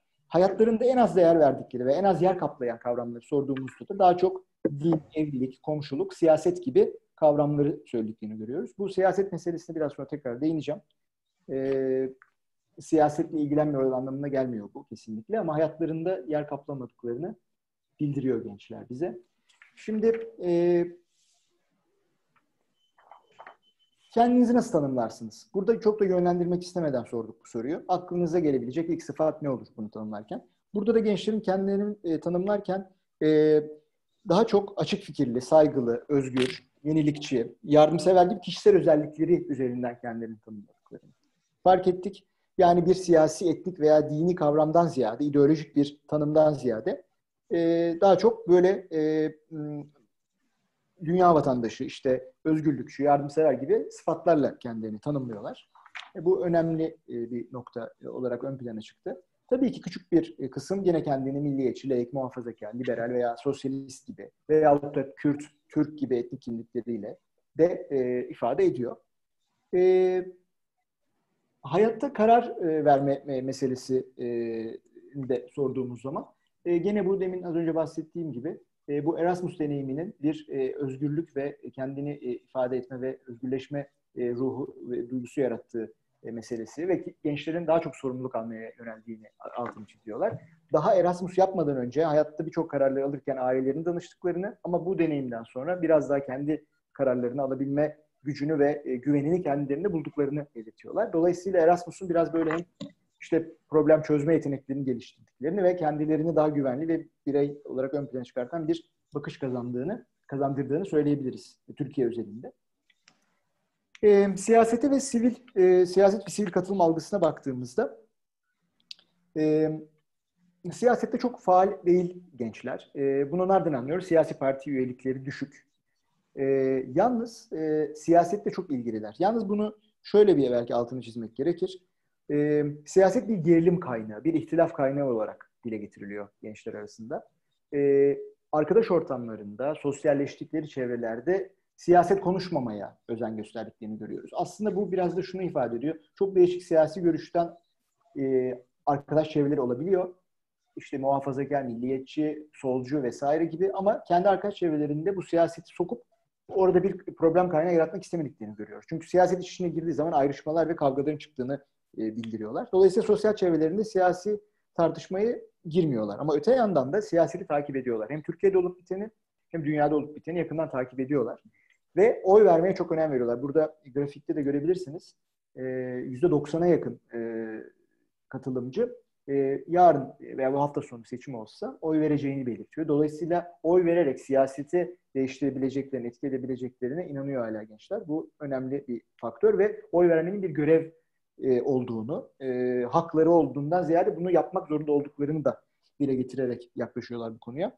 Dolayısıyla seç, oy verme çok önemsenen bir davranış biçimi. Farklılıklara yaklaşım konusu. Bu, bu da yine çalışmanın ilginç alanlarından bir tanesiydi. E, toplumdaki farklılıklara dair algılarını ve tutumlarını anlamak için e, gençlere biraz Türkiye'deki çeşitli toplumsal grupların sosyal ve siyasi talep ve tutumlarının yer aldığı bir listedeki maddeleri ne ölçüde kabul edip e, etmeyeceklerini sorduk burada. Toplam puanlara baktığımız zaman e, Türkiye'deki katılımcıların büyük çoğunluğunun e, farklılık koşgürüyle karşıladığını görüyoruz gençlerin. Dini dogmaları ve toplumsal cinsiyet yargılarına ilişkin en geleneksel tutumları benimsemedikleri görülüyor. Dini geleneklere ve yaşam tarzlarına ilişkin sorularda Türkiye'deki katılımcıların büyük çoğunluğu Örneğin alkol servis eden restoranlara gitmeyi kesinlikle tercih etmiyorum. Kürtaj yasaklanmalıdır gibi yargıları kesinlikle katılmıyorum veya e, katılmıyorum yanıtını veriyorlar. Yine grafikte e, görebilirsiniz bunu. Veyahut da işte mesela e, ikinci e, grafikte gözüktüğü gibi kamuya açık bir alanda işte öpüşmek veya sarılmak suç olmalıdır. Mesela gençlerin %93'ü buna katılmıyor. E, yine aynı şekilde e, cemevlerinin ibadethane olarak kabul edilmesini nasıl bulursunuz sorusuna 170 oranında olumlu bakıyor gençler e, din derslerinin e, zorunlu olmaması gerektiği konusunda da %57 konusunda bir görüş belirtmişler. E, devam ediyorum. E, biraz e, değişik e, e, toplumsal kesimlere bakışı da anlamaya çalıştık. Burada mesela eşcinselliğe yönelik e, eşcinselliğin toplum ahlak üzerinde nasıl bir etki yarattığı konusunda onlara e, görüşlerini sorduk. Mesela eşcinsellik hastalıktır görüşüne katılıyor musunuz dedik. %86'sı buna katılmadım dedi e, veyahut da e, eşcinseller işte toplumun genel e, ahlak düzeyini olumsuz etkiliyorlar önermesine katılıyor musunuz dediğimizde gene yüzde 86 ile katılmadıklarını belirtiyorlar. E, bunlara ek olarak e, kültürlerine ve milletlerine aidiyet ve bağlılık düzeylerini anlamak için de bazı sorular sorduk. E, milli kültür ve değerlerimize sahip çıkmalı ve onları korumalıyız. Yargısına ne ölçüde katılıp katılmadıklarını sorduk. %74'ü buna katıldıklarını belirtti. Ancak e, ellerinde olsa başka bir vatan, başka bir ülkenin e, vatandaşı olup olmak isteyip istemeyeceklerini sorduğumuzda e, katılımcıların yarısı da başka bir ülke vatandaşı olmak istediklerini belirttiler. Gene burada görebiliyorsunuz. E, grafik 9'da %51 ile.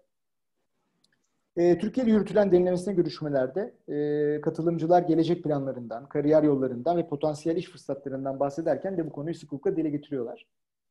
E, ama yine kalan bir yüzde ellinin de emin olmadığını ve bu görüşte olmadığını söylemek lazım. Yani böyle yüzde elli, yüzde var burada.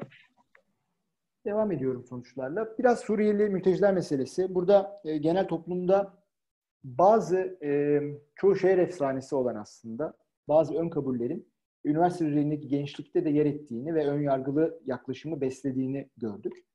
E, burada e, Suriyeli katılımcılara, Suriyeli mültecilere bakışa gelmeden önce e, gençlere e, iki tip soru sorduk burada. Şunu anlamaya çalıştık burada da.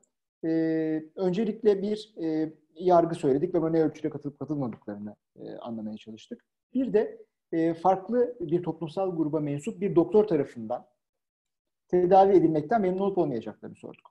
Burada da toplumsal grup olarak dindar, Kürt, Türk, Ermeni, Alevi, eşcinsel, Suriyeli, mülteci ve ateist kimliklerini söyledik. Bunların her birini teker teker hastalandınız. İşte atıyorum ate ateist bir doktorunuza bakması ister şeklinde. E, gençlerin buna nasıl tepki vereceğini anlamaya çalıştık biraz. Büyük bir çoğunluk e, bu toplumsal sınıfların herhangi birine e, mensup bir doktor tarafından tedavi edilmekten bir sıkıntı duymayacağını dile getirdi. Ancak biraz derinlemesine indiğimizde özellikle Suriyeli mülteciler özelinde bazı tereddütler olduğunu gördük. E, bu iki grafikte görebileceğiniz gibi e, Suriyeli mültecilere e, vatandaşlık verilmelidir e, önermesine e, %70 oranında karşı çıkılıyor. Ve de savaş bittiği zaman e, %81 oranında e, katılımcı, savaş bittiği zaman Suriyelilerin tekrar ülkelerine geri dönmeleri gerektiğini altını çiziyor. Bu bakışın altında biraz ne olduğunu anlamaya çalıştığımızda e, gençler Suriyeli mültecileri bazı ayrıcalıklar sunulduğunu e, dile getiriyorlar e, bazıları Suriyeliler benzersiz ayrıcalıklar sunulduğunu dile getiriyor. İşte biraz kamuoyunda bizim de sıkça karşılaştığımız aslında yanlış bilinen gerçeklerin e, gençler arasında oldukça ciddi alındığını görüyoruz. E, Suriyeli mültecilerden sonra bir de e, dindar e, insanlar e, da ikinci istenmeyen doktor grubu olarak ortaya çıkıyor. Biraz bunun sebebini anlamaya çalıştık. Ben bir e, katılımcı e, mülakat yaptığımız bir gencin e, bir gözlemini bize bahsi paylaştığı kısmı okumak istiyorum. Burada biraz Suriyelilerle ilgili bakış da aslında e, ortaya çıkıyor. Bu kişi e, 24 yaşında Erasmus deneyimi olan İstanbul'da bir e, kadın e, öğrenci. Benim gözlemlediğim dindar kesimin tıbbın gerekliliğini tam anlamıyla yerine getireceğini düşünmüyorum. Bizzat bir arkadaşımın anlattığı bir örnek üzerinden gidebilirim. Konya'da bir kadın bayılıyor ve insanlar kaldırmıyor bile kadına. Çünkü böyle bir dindarlık algısı olduğu için Türkiye'de doktor olmaması tercih etmem. Suriyeli mülteciler konusunda aslında ırk benim için bir şey değil. Türk, Ermeni bunlarla hiçbir şekilde problem yaşamıyorken neden Suriyelilerle yaşıyor? Suriyeli mülteci kavramı rahatsız olduğum bir kavram. Bu onlara tanınan ayrıcalıklarla alakalı bir şey. Suriyeli bir mültecinin burada değil kendi ülkesinde doktor olmasını tercih ederim. Onların memleket algısıyla benim memleket algım çok farklı. Suriyeli bir mülteci doktorun yetersiz olacağını düşünüyorum. Ayrıca bir takım iddialar duyuyorum Suriyelilerle ilgili. Geliyorlar, sınava girmeden istedikleri üniversiteye kayıt yaptırabiliyorlar. Dolayısıyla bu benim için adil bir şey değil. Ve bu şekilde mesleğe girmiş birinin de işini iyi yapacağını düşünmüyorum. E, kültürel olarak çok farklı olduğumuzu düşünüyorum. E, istisnalı olabilir ama genel olarak böyle görüyorum diyor. E, bu e, belki biraz uç örnek olarak görülebilir ama genel olarak e, Suriyelilere bakışta böyle negatif bir algı var. Üniversite seviyesindeki gençlerde bile bu durumun olduğunu göz önüne alırsak bu da üzerinde çalışılması ve araştırma yapması gereken bir konu olarak ön plana çıkıyor. E, hızlıca devam ediyorum. E, Türkiye algısına sorduk. Gençler Türkiye deyince, e, Türkiye'li olmak veya Türkiye'den olmak deyince akıllarına ne geliyor? İki yönlü bir algı var gençlerin Türkiye bakışlarında. Öncelikle e, geniş bir kültürel çeşitlilik ve tarihi unsurları ön plana çıkartıyorlar. Misafirperverlik. Bu anlamda ülkelerine e, aidiyetleri güçlü ve Türkiye vatandaşı olmaktan gurur duyuyorlar. Ama diğer yandan da Türkiye'deki e, sürekli değişen işte siyasi, ekonomik ve sosyal gelişmeler ve belirsizlik onları endişeye e, sevk ediyor. Dolayısıyla böyle bir anlamda hem bir gurur duyma bir anlamda da endişe hali söz konusu. Böyle iki yönlü bir algı var. E, katılımcıların e, Türkiye denildiği zaman en sık bağdaştırdıkları kavramlarda şunlar, kültür, ev, millet, aile, siyaset, din, kaos, düzensizlik.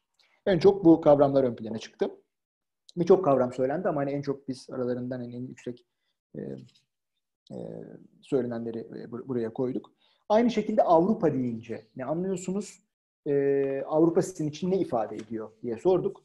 E, özgürlük, e, ülke sınırları tanımaksızın seyahat edebilmek e, ve yüksek refah e, seviyesi ilk söylenen şeyler. Özellikle Avrupa Birliği gençler için e, free mobility yani e, sınırsız sınırlar olmadan seyahati ifade ediyor. Gerçi pandemi şartlarında o da şu anda pek e, mümkün değil ama e, mevcut yani gençler Erasmus programını yaptıkları zaman o, o deneyimleri sırasında en çok Avrupa'nın özelliğinden. Yani ve dolayısıyla Avrupa Birliği denince, Türkiye'nin Avrupa Birliği'nin üye olması denince de en çok arzu edilen şey bu e, sınırsız e, seyahat etme, e, ülkeler arasında geçişken ve tabii ki çeşitli eğitim kurumlarında rahatlıkla eğitim görebilme avantajı. Bu çok önemli. Bunun dışında e, iyi şehir planlaması, düzenli mimari, kamu alanlarında, kamusal alanda kurallara uyulması, düzenli yaşam tarzı gibi konseptlerde, kavramlarda e, dile getiriliyor. Ama en çok bu vizesiz seyahat imkanı e, en çok gençler tarafından dile getirilen olgu. E, negatif algılar da var tabii ki. Çünkü bütün hikayeler sadece pozitif öğelerle dolu değil. Bazı katılımcılar Erasmus üyeleri sırasında ayrımcılığa ve milliyetçi yaklaşımlara da maruz kaldıklarını belirttiler.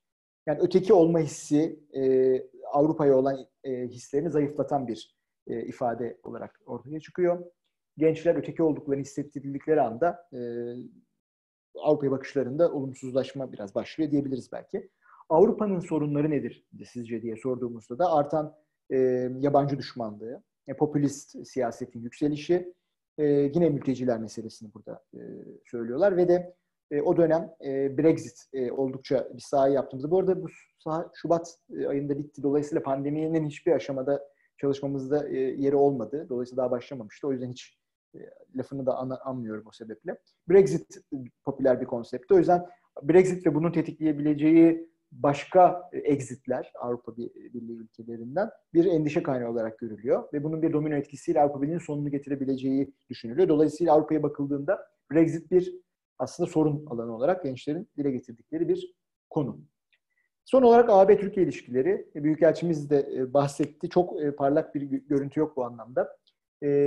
Türkiye'nin sadece yüzde yedisi bizim görüşme yaptığımız gençlerin Türkiye Türkiye'nin bir gün Avrupa Birliği'ne üye olacağını düşünüyor e, ve 5 yıllık süreç içerisinde nasıl görüyorsunuz e, Türkiye-Avrupa Birliği ilişkilerini dediğinizde de e, grafikleri görebileceğiniz gibi e, aynı ya da daha kötü bir gidişat bekleniyor gençlerde ağırlıklı olarak. E, Avrupa Birliği denince hangi kavramlar ortaya çıkıyor? Daha önce bahsettiğim bu sınırsızlık, yani borderless meselesi, Schengen, e, seyahat özgürlüğü, ekonomi, Almanya ve Merkel. Bunlar konsept olarak e, kavram olarak e, en çok sıra e, çok dile getirilen Avrupa Birliği deyince e, kavramlardı. Buradan da biraz Almanya'nın Avrupa Birliği içerisindeki öncü ve lider rolünün e, görüldüğü anlaşılıyor. Ya da o şekilde bir algı olduğunu da söyleyebiliriz belki. E, sanıyorum şimdilik bu kadar paylaşayım. E, biraz Samuel de Avrupa e, sahasının bulgularını paylaşacak. Biraz da kıyaslama yapacağız. Daha sonra tartışma bölümünde daha detaylıca e, bu bahsetmiş olduğum e, bölümlerin hepsi için tartışma yapabiliriz. Çok teşekkür ederim ben dinlediğiniz için. Samuel, can I give the floor to you? Okay, thank you so much, Aybars. Çok teşekkürler Aybars. Önce e, birazcık metodolojiden bahsedelim. Çünkü Avrupa Birliği kısmını kalitatif e, söyleşilerle yürüttük. Dolayısıyla kalitatif sözleşmelerden e, bahsedeyim. E, yarı yapılandırılmış 195, 84 yapılandırılmış söyleşi yaptık. Avrupa Birliği üyesi e, ülkelerin öğrencileriyle. Esas olarak öğrencilerin değerlerini, perspektiflerini, AB-Türkiye ilişkilerine bakışlarını gençlik açısından yaklaşımlarını ve en önemlisi Erasmus ve Erasmus dışı öğrencilerdeki benzer ve farklılıkları anlamak istedik. Bu nedenle de Erasmus ve Erasmus dışı öğrenci seçimleri yaptık. Buna bağlı olarak e, Türkiye ile değişimin ne gibi etkiler getirdiğini değerli ilişkiler açısından saptamaya e, çalıştık. E, bu oldukça yeni bir yöntemdi. Daha önce de bahsettiğim gibi farklı ülkelerden öğrencilerle söyleşi yaptık. Kantitatif değildi, kalitatif bir çalışma.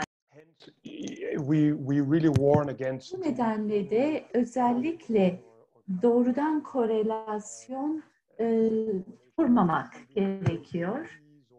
E, Dolayısıyla bazı sosyoekonomik e, göstergeler ve ilişkiler açısından mükemmel istatistiksel, niceliksel bir örneklemi we do look at a fraction of society which Buna rağmen toplumun belli bir kısmını, üniversite mezunu olanlarını iyi anlamış olduk. and I would say um, an important look at Ve them would bunun içinde e, açıkçası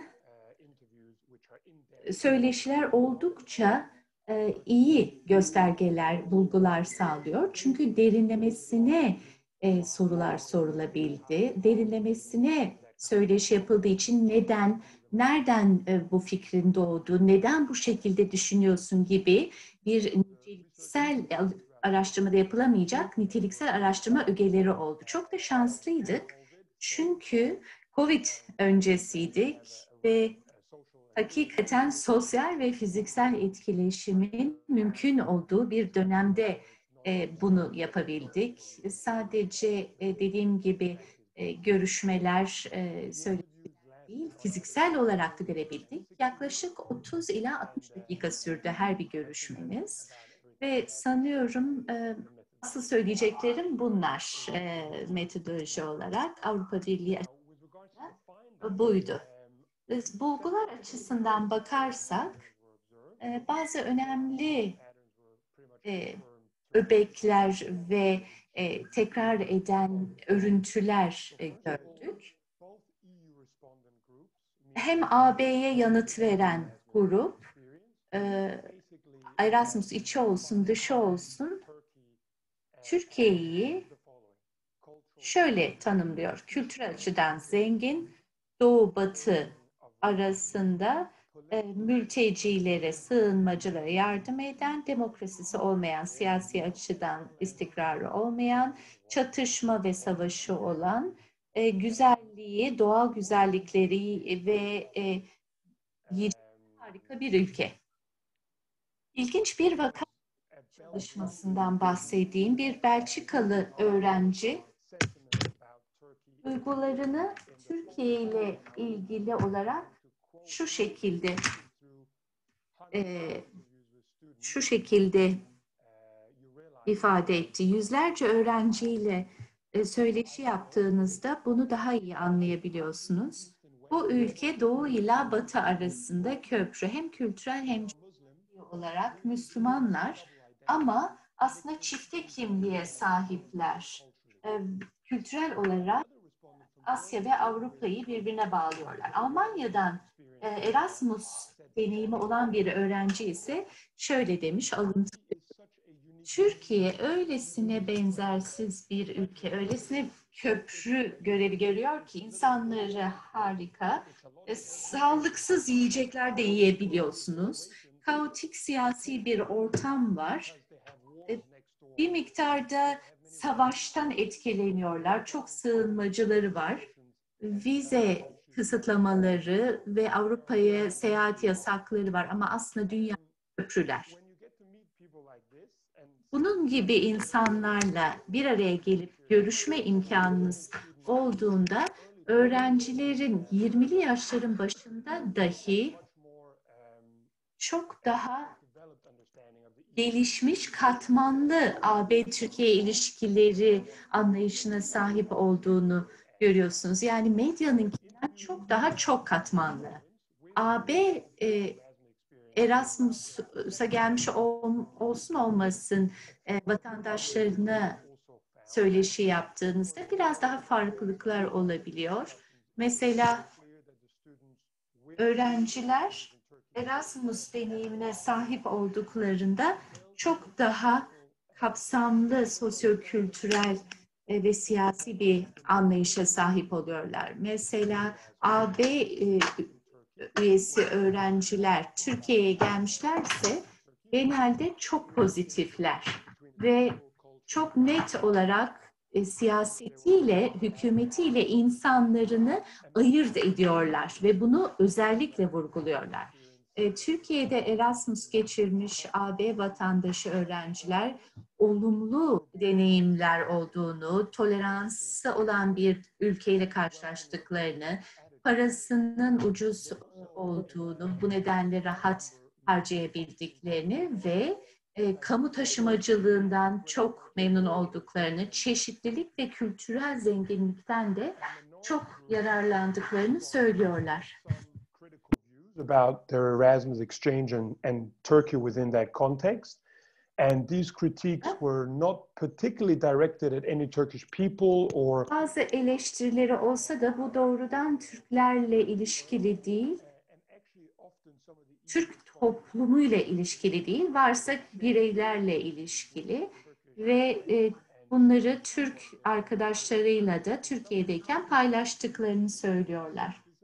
E, seksizm, bürokrasi, siyasi sorunlar ve veya muhafazakarlık genel olarak çok hoşnut olmadıkları taraflar. İlginç bir biçimde vatandaşlık, yurttaşlık bilinci ve angajman açısından baktığımızda e, yanıt verenlerin çoğu bir STK'da gönüllü çalıştıklarını söylüyorlar.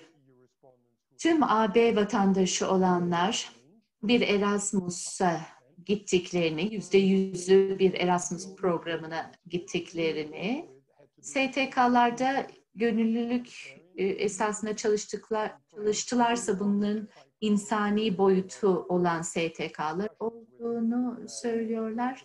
Ayrıca birçok öğrenciyle de görüştük. Gönüllülük ve STK aktivizmi açısından baktığımızda Erasmus bunu doğrudan e, tetikliyor. En azından Türkiye'de el ele gidiyor.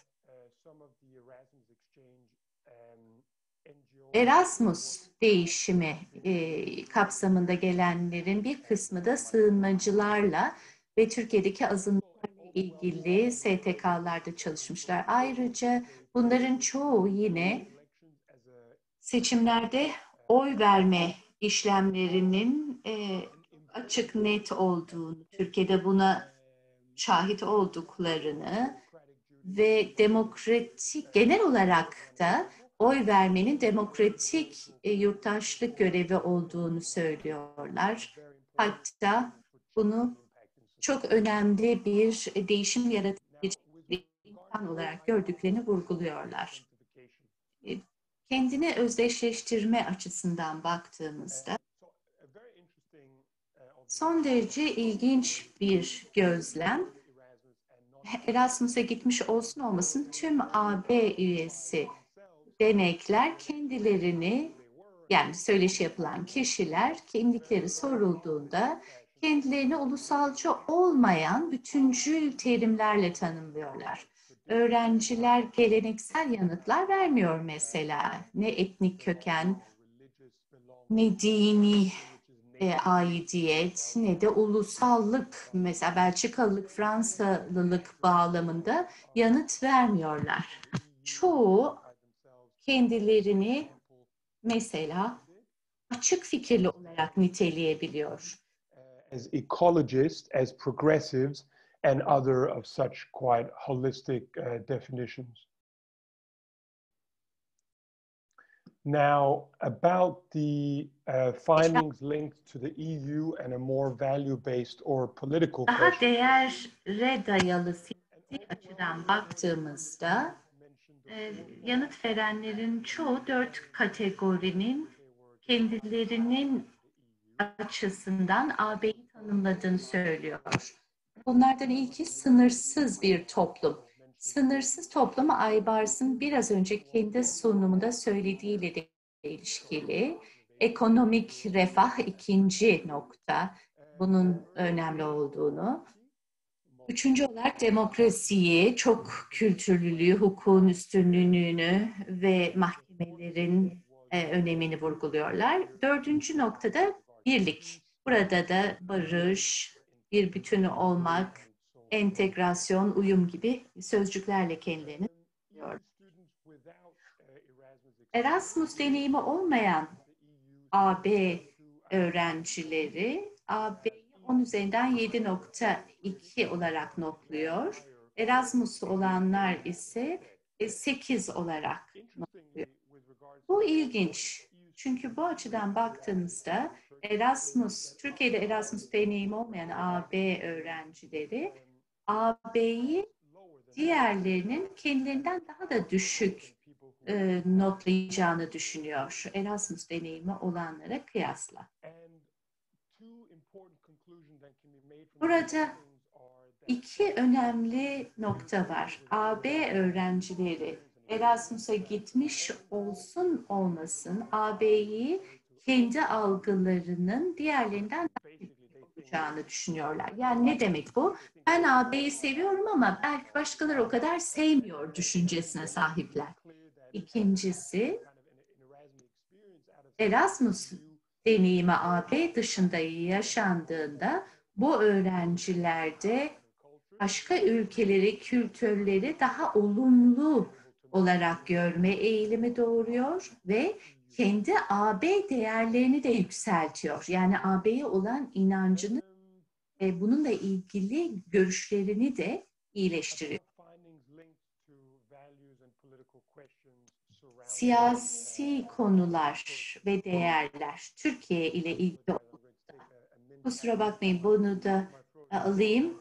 Çünkü sesim çok iyi değil ama korona değilim yemin ederim. 37 Erasmus deneyimi olmayan AB öğrencisine Türkiye'nin yaşadığını düşündükleri sorunlar sorulduğunda bunların hemen hepsi hükümetle ilişkili siyasi, demokratik sorunlar en büyük sorunlarıdır Türkiye'nin. AB e, e, vatandaşı olup Erasmus'a gidenlerin de çoğu hükümetle ilişkili demokratik e, sorunları en büyük sorun olarak algılıyor. Bu her iki öğrenci grubunda Erasmus'lu olsun olmasın ortak bir başarısı. Ancak bir nüans var. E, genel olarak Erasmus, Erasmus dışını kıyasladığınızda mesela ulusalcılık konusu Erasmus'u olmayanların hiç gündeme getirmediği bir konu Türkiye ile ilişkili. Din çok birkaç kere aynı grup tarafından önemli bir faktör olarak gündeme getirilmiş. Erasmus'a gelmiş Türkiye'yi tanıyanlar ise ulusalcılığı birçok kez anıyorlar. Burada diğer yanıtlarına da baktığınızda eğitim, çevresel sorunlar, nüfus artışı, şehircilikle ilgili sıkıntılar, e, azınlık sorunlarıyla ilgili Kürt sorunu, Türkiye'ye gelmiş Erasmus deneyimi olanlarca gelmemişlere kıyasla daha çok gündeme getiriliyor. AB e, vatandaşı olup e, Erasmus deneyenler e, katılım açısından umutsuzluk meselesini daha çok gündeme getiriyorlar. Aslında Türkiye hakkında çok olumlular. Türkiye'nin girmesini de istiyorlar. Ancak bu öğrencilerin çoğu Erasmus'a geldiyse aslında komplikasyonların da çok farkına varmış oluyorlar. Türkiye'nin katılım süreci ile ilgili ve Türkiye'nin AB üyesi olma ihtimalinin az olduğunu düşünüyorlar. Erasmus'a gelmemiş olanlar aslında bu konuda daha pozitifler. Bu da e, oldukça en azından bir miktar paradoksal. Ama düşündüğünüzde bir açıklaması da var. Çoğu e, genç gibi şüpheciler hem AB hem Türk hükümetlerine e, sahnenin önünde başka, arkasına başka davrandıklarını düşünüyorlar. ve katılım sürecinin dondurulduğunu ya da öldüğünü ve bunun içinde e, bunun yerine bir şeyler getirmemiz gerektiğini düşünüyorlar. Bir Belçikalı öğrenci şöyle dedi.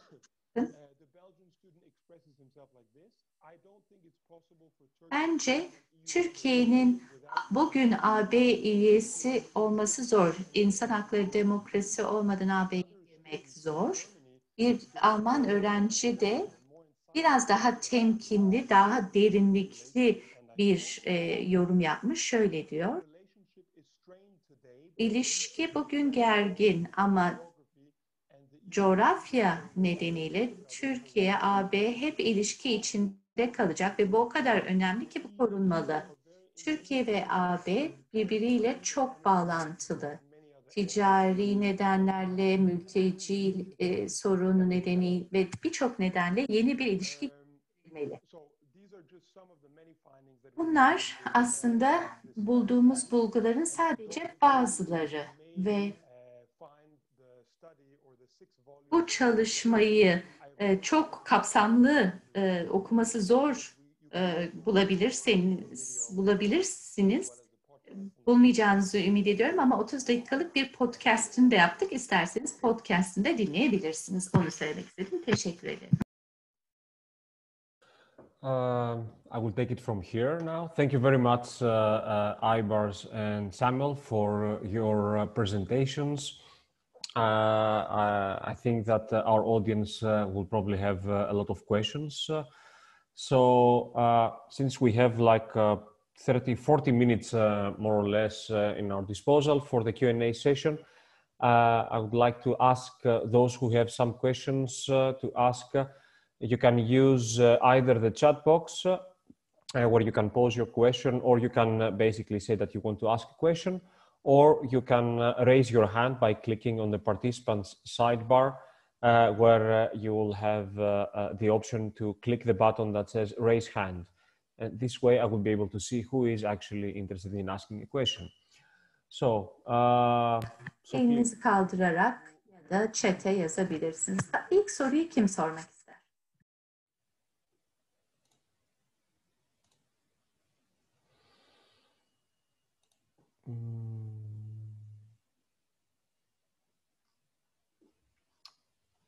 I don't see any hands. Everything was crystal clear. Her şey o kadar netti ki soru yok. O zaman ilk soru Sayın Türkoğlu'ndan buyurun. Soru değil ama bir yorum ve görüşlerinizi isteyebilirim belki. Sizi dinledikten ve özeti okuduktan sonra gençliğinin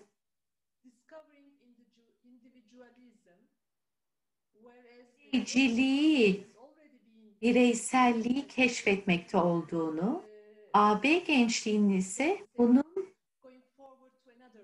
daha ileriki aşamalarına geçtiğini düşündüm.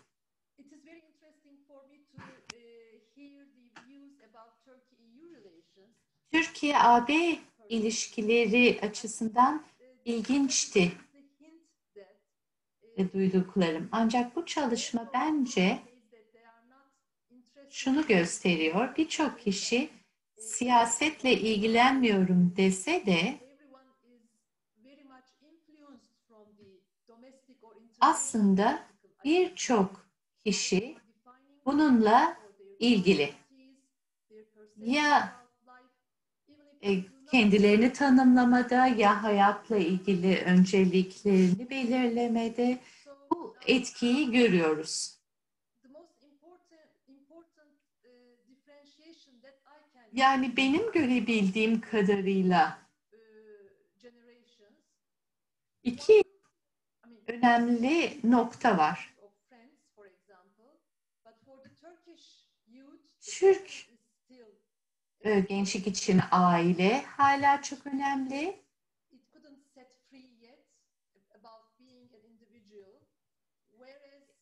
Aile önemli yani hala tam bireyci yaşama geçmemiş. AB gençliği için öğrenmek, eğlenmek, e, birey sonrası değerlere geçmiş.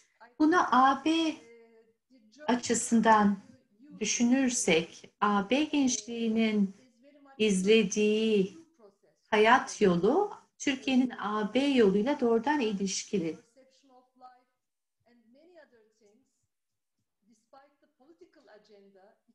Tüm siyasi gündeme, ekonomik, sosyoekonomik nedenlere, coğrafi mesafe ve benzeri e, tarihi örneğin unsurlara rağmen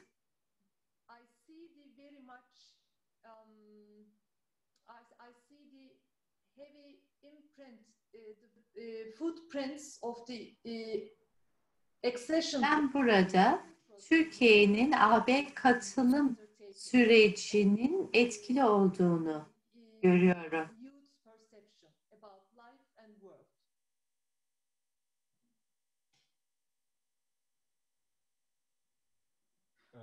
Would you maybe Aybars or Samuel would you like to Aybars ya da başka biri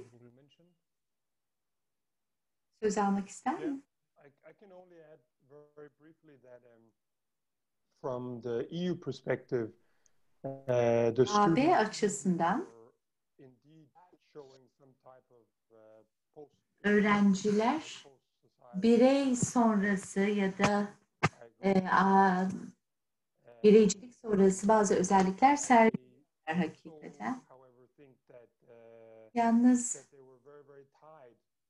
bunun aslında ziyaret ettikleri ilişkiye, e, ülkeye çok ciddi gönül verdikleriyle de ilgili olduğunu düşünüyorum. Türkiye ile ilgili çok pozitifler ve biz ve onlar gibi ayrımda değiller.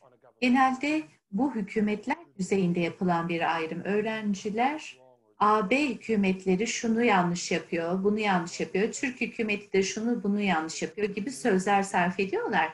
Ama ayrışımı insanlar arasına, halklar arasına koymuyorlar.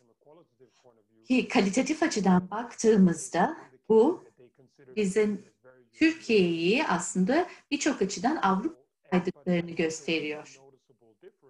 which is when when we looked at Ee, ve. Erasmus'a gelmiş ve gelmemiş birçok e, öğrenci açısından din gündeme geliyor tabii ama dinin gündeme gelişi Türk de olsa, Türkiye'nin dostu ya da uzmanı her ne dinliyorsa onlar ne kadara e, getiriyorsa o kadar. Ulusalcılık daha ziyade sıkıntı gibi, din daha az bizim görebildiğimiz kadarıyla gündeme geliş sıklığı açısından. Bunlar açıkçası ufuk açıcıydı benim açımdan. Ben de belki çok kısaca şunu şöyle söyleyebilirim. Ee, Avrupalı öğrenci daha mı bireyci? Belki burada belki öğrenci ve ailesi arasındaki e, boşanma ya da kopuş yani ayrışmaya bakmak lazım. Maddi olanaklar elbette bir neden.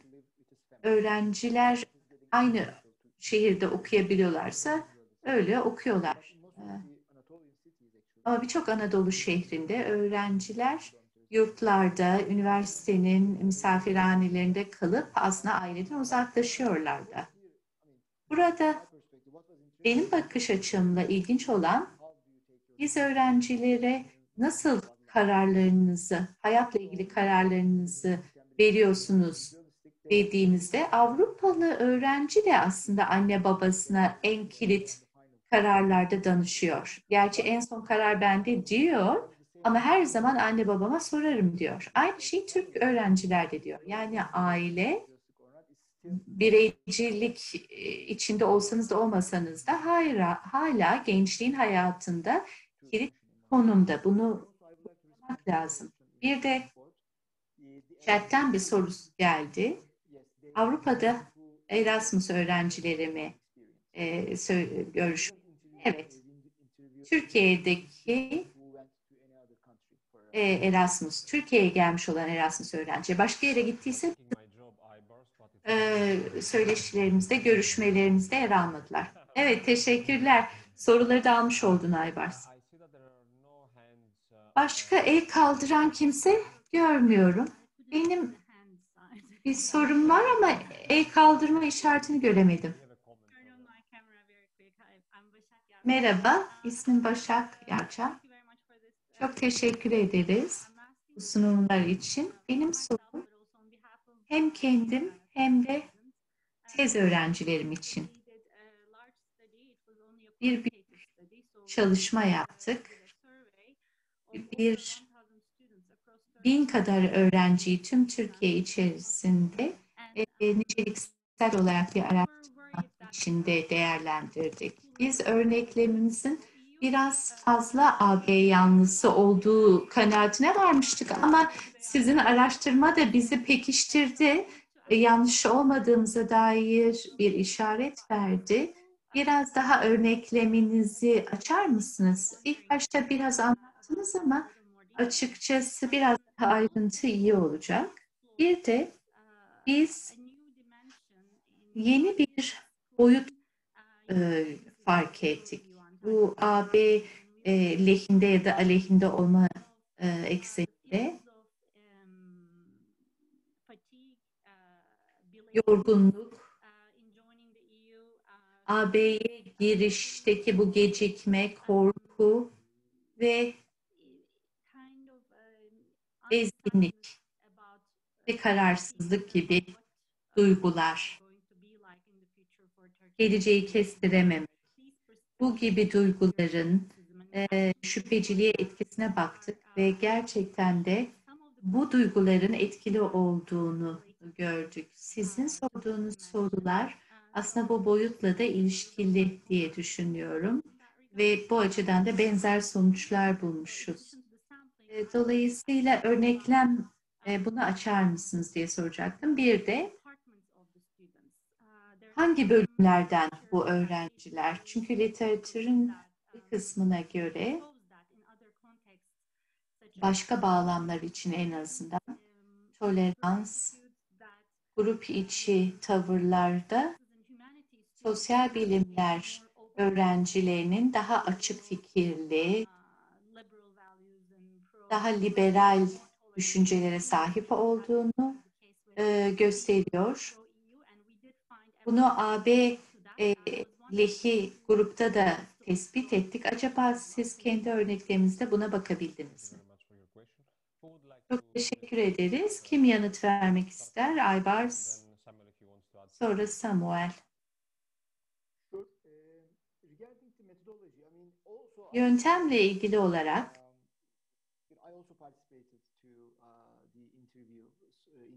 bu görüşmelere hem Türkiye hem dışarıda ben de katıldım. Tabii bizim örneklerimiz sizden de küçük. Bin öğrencide de aynı şey çıkıyorsa ne güzel. Belki üniversite öğrencisi olmak burada bir etki. Ben AB çalışmaları uzmanı değilim. Onun uzmanı meslektaşlarım belki söz alır. Biz bu öğrencileri nasıl bulduk? Samuel AB tarafından bahsetti. Biz Türkiye'de Türkiye'ye Erasmus'ta gelmiş öğrenci arayınca çok kolay olmadı. Özellikle son birkaç yıldan beri gelen öğrenci sayısı azaldı. Türkiye'deki çeşitli gelişmeler nedeniyle. Biz Türkiye'de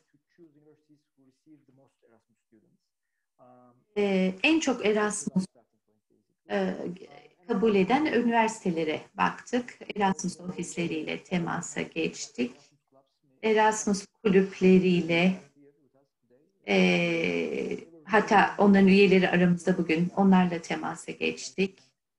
E, yani dediğim gibi ilk başta söylediğim üzere biraz e, ne, neyi bulursak o yöntemi oldu. Yani üniversiteye gittik, Erasmus kulüplerini, ofislerini bulduk.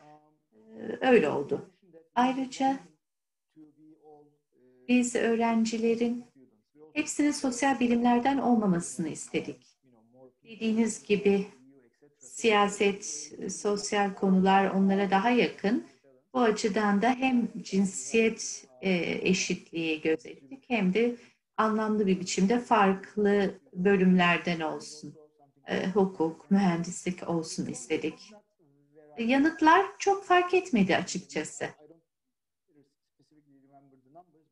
Tam rakamları hatırlamıyorum ama yanıtlar çok da fark etmedi. Samuel Avrupa'yı daha da anlatır ama sosyal bilimler öğrencileri tabii ki dünyayı daha iyi takip ediyorlar, Türkiye'yi daha iyi tanıyorlar, yerini biliyorlar. Türkiye zaten anlaşılması biraz zor bir ülke. Onun için 3 e, ayda, 5 ayda da bu komplikasyonlar e, sosyal bilim öğrencilerin daha çok ilgisini çekiyor. Tabii ki sosyal bilim öğrencilerinin daha fazla fikri oluyor. Ve e, bunlar tabii daha derinlikli fikirlere de sahip olabiliyorlar. Toplam olarak yüzden fazla öğrenciyle görüştük. Ama sanki 500 ile görüşmüş gibi olduk. Çünkü bence 500 de olsa çok değişmeyecekti. Öylesine hep aynı e, yanıtlar tekrar edip durdu. Ama elbette örnekler büyüdükçe o kadar iyi olacaktır. E, ama kaynaklarımız sınırlı olduğu için e, biz açıkçası böyle yaptık. Online araştırma da işe yarıyor açıkçası. E, her halükarda çok fark olmayacağını düşünüyorum. Sadece Erasmus deneyimi açısından uluslararasılık, AB'nin bu konumu, bu e, sistem içindeki konumunu göz açtırıcı oldu diyebilirim. Yoksa değerleri e, açısından nasıl etkili olmuş dediğimizde çok radikal farklılıklar yok. Samuel belki sen de AB'yi anlatırsın. Uh, hi Başak. Um, so about the sample, uh, we Evet, also had Merhaba Başak. Şimdi öncelikle örneklemle ilgili tabii ki bizde de farklı departmanlar vardı. Sanat, tarih, e, fizik gibi herhangi bir varyansla, bir çeşitlenmeyle karşılaşmadık. Ama kalitatif örneklemde e, buna benzer bir çeşitlilik kantitatife kıyasla daha az anlamlı. Yani herhangi bir e, çeşitlenme olmadığını, büyük bir fark olmadığını söyleyebilirim. Fakat burada şunu söylemek daha anlamlı olabilir. Kalitatif yanıtlarında bir fark yok. Yani bunlardan bahsettiklerimiz bahsettiğimizde e, araştırmacılardan hiçbir tanesi bu konuların e, ard arda çıkmasında herhangi bir çeşitlenme rapor etmedi. Yönteme gelecek olursa kartopu yöntemini kullandık. Ama aslında bu da çok fark ettirmiyor. Çünkü Aybars Bey'in de söylediği gibi e, rakam o kadar küçüktü ki Türkiye'de e, darbe girişiminin ardından e, Erasmus öğrencilerinin sayısında bir düşüş meydana gelmişti. Tabii ki bu düşüşün e, arkasında bir sürü sebep yatıyor. İnsanlar e, Almanya'da, Hollanda'da buna benzer ülkelerde biraz daha e, risk iştahlarını azalttılar. Dışişleri Bakanlığı Türkiye ile ilgili bir sürü ülkede buna benzer uyarılar yayınladı. Bu tabii üniversite seviyesine dekanlara kadar indi. Türkiye'deki durum tabii ki o aşamada çok zordu. İnsanlar e, hapse atılıyorlardı vesaire e, ve medya da bu konuyu ele aldı. Dolayısıyla bunun sonucunda şunu söylemek istiyorum ki Türkiye'ye ve Erasmus'a gelecek olan öğrenci sayıları ciddi miktarda düşmüş oldu. Biz de araştırmacılar olarak çok küçük bir rakamla çalışabilmek zorunda kaldık tutarlı olabilmek için. Ve bunun bir sonucu olarak e, kartopu yöntemini kullandık ama bu çok küçük bir rakam dahi olsa yine de elimizden geldiğince katılımcıya ulaşmaya çalıştık ve son derecede makul bir sayıya ulaştık kalitatif bir çalışma için. Örnek verecek olursam mesela daha küçük ülkelerde düzinelerce kişiye uzanılabiliyordu. Yani mesela küçük ülkelerden Türkiye'ye Erasmus için gelen yüzlerce kişiden bahsedemiyorsunuz ki birkaç düzine insandan bahsediyorsunuz. Rakamlar bu kadar düşebiliyor. Bir de tabii ki neden böyle bir örneklem, bu çok niş bir örneklem mi konusuna gelecek olursanız evet tabii ki çok niş bir e, örneklem. Üniversite eğitimli, yüksek gelir düzeyli, açıklığa daha yatkınlığı olan bir grup. Biz bu grubu özellikle seçtik.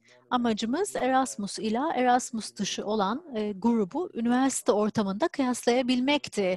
Üniversite ortamı dışında başka grupları seçmiş olsaydık tabii ki metodolojik olarak daha az kıyaslanabilir olurdu. İki tane rastgele insan grubu arasında bağlantı kurmak veya kıyaslama yapmak çok daha zor olurdu. Ondan dolayı üniversite ortamında Erasmus ve Erasmus dışı olan grubu kıyaslamayı tercih ettik. Ama tabii ki ayrıcalıklı, sosyoekonomik e, azınlık bunlar. Zaten liberal değerlere otomatikman daha yatkın olabiliyorlar. Doğrudur. Bu çalışmayı yaparken tabii ki bir literatür taraması da yaptık literatür taramasını yaparken şu ana kadar neler yapılmış ona baktık. Başka çalışmalara baktık. Ve tabii ki Erasmus programından gelen geri bildirimlere de yaptık, baktık. Onlar da var tabii ki. E, onlara da bakmak çok ilginç aslında bakacak olursanız. E, oraya baktığınızda da Türkiye ve Avrupalı öğrencilerin e, liberal değerlerinde gerileyip gerilemediğini görebiliyorsunuz. Çünkü zaten e, en azından daha az liberal değerlerin olduğu bir devre giriyormuşuz gibi gözüküyor. Evet, çalışmanın böyle boyutları da vardı. Çok teşekkürler. El kaldıran birkaç kişi var. Onun dışında e, chatte birkaç tane soru görüyorum. Şimdi dinleyicilerimizden iki soru alacağım. Birisi Ulaş Bey'den, bir tanesi Ulaş Tol'dan, bir de Ezgi Erkan'dan. İki soruyu da alalım ondan sonra yanıtlara geçelim. Sayın Ulaş Tol, buyurun. Merhabalar, Ulaş Tolganya'da Vakfı'ndan. Ee, merakla beklediğim e, sonuçlardı. E, detayları da merak ediyorum ama şimdiden önemli bulgular olduğunu görüyorum. E, çok teşekkür ediyorum çalışma için emeği geçenlere. E, ben araştırmacıyım. Gençlik alanında da çok fazla araştırma içerisinde yer aldım. O yüzden ister istemez Türkiye temsili araştırmalarla da kıyaslayarak biraz dinledim. E, dinledik, dinlediğim kadarıyla da üç e, konuda çok önemli sonuçlar var. Bunlar e, da yine Türkiye verileriyle kıyaslayarak e, bir iki tespitimi söyleyeceğim ve ilgili e, de hem Aybars hem Samuel'e e, sorularım olacak. E, bir tanesi e, Aybars da söyledi, bu liberal özgürlükler konusunda oldukça olumlu bir tablo var bu profilde. Bu Türkiye gençliğinin e, verilerine baktığımızda bu şekilde e, bir karşılık bulmuyor. Yani Türkiye gençliği e, liberal özgürlükler konusunda Türkiye toplumunun ortalamasından daha iyi olmakla birlikte buradaki resme göre oldukça muhafazakar ya da daha az liberal tarafta çıkıyor diyebiliriz. Aşırı bir fark gördüm. Bu e, şuna işaret ediyor olabilir. E, Erasmus'a e, katılanlar ya da bu fırsatı, imkanı yakalayanlar belli bir kesim gençlik profilinden geliyor olabilir. Eğer böyleyse bunu bu program yöneticilerinin, karar vericilerinin ciddiyetle ele alması gerekiyor. Açıdan önemli bir sonuç olarak gördüm. E, tabii e, yani şunu çok e, göremiyoruz. E, bu e, her ne kadar hani kontrol grupları da burada olsa bile çok ayırt etmek bu e, sınırlı çalışmalarla mümkün değil. Acaba bu çalışmaya katıldığı için mi liberal özgürlükleri gelişiyor? E, yoksa bu katılımcı profili mi böyle? E, fakat hani açı çok açık olduğu için e, Türkiye ortalamasından ben sanki biraz katılımcı profilinin böyle olmasının temel faktörü olduğu e, yargısına vardım. Bir bunu e, sormak ister isterim. Bu e, aynısını e, Avrupa için de merak ederim aslında. Yani Avrupa'daki gençlik profili, ortalama gençlik profiliyle Erasmus'a katılan gençlik profili arasında e, Türkiye'deki gibi e, büyük bir makas var mı liberal özgürlükler e, yaklaşımları açısından? Birinci e, şey buydu e, tespitim. İkincisi bu göçmenler konusunu çok önemli buldum.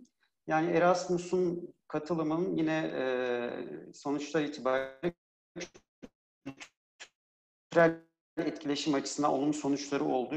Fakat kendi ülkesindeki azınlıklara ya da göçmenlere bakışı çok da etkilemiyor sonucuna varabilir miyiz bu verilerden?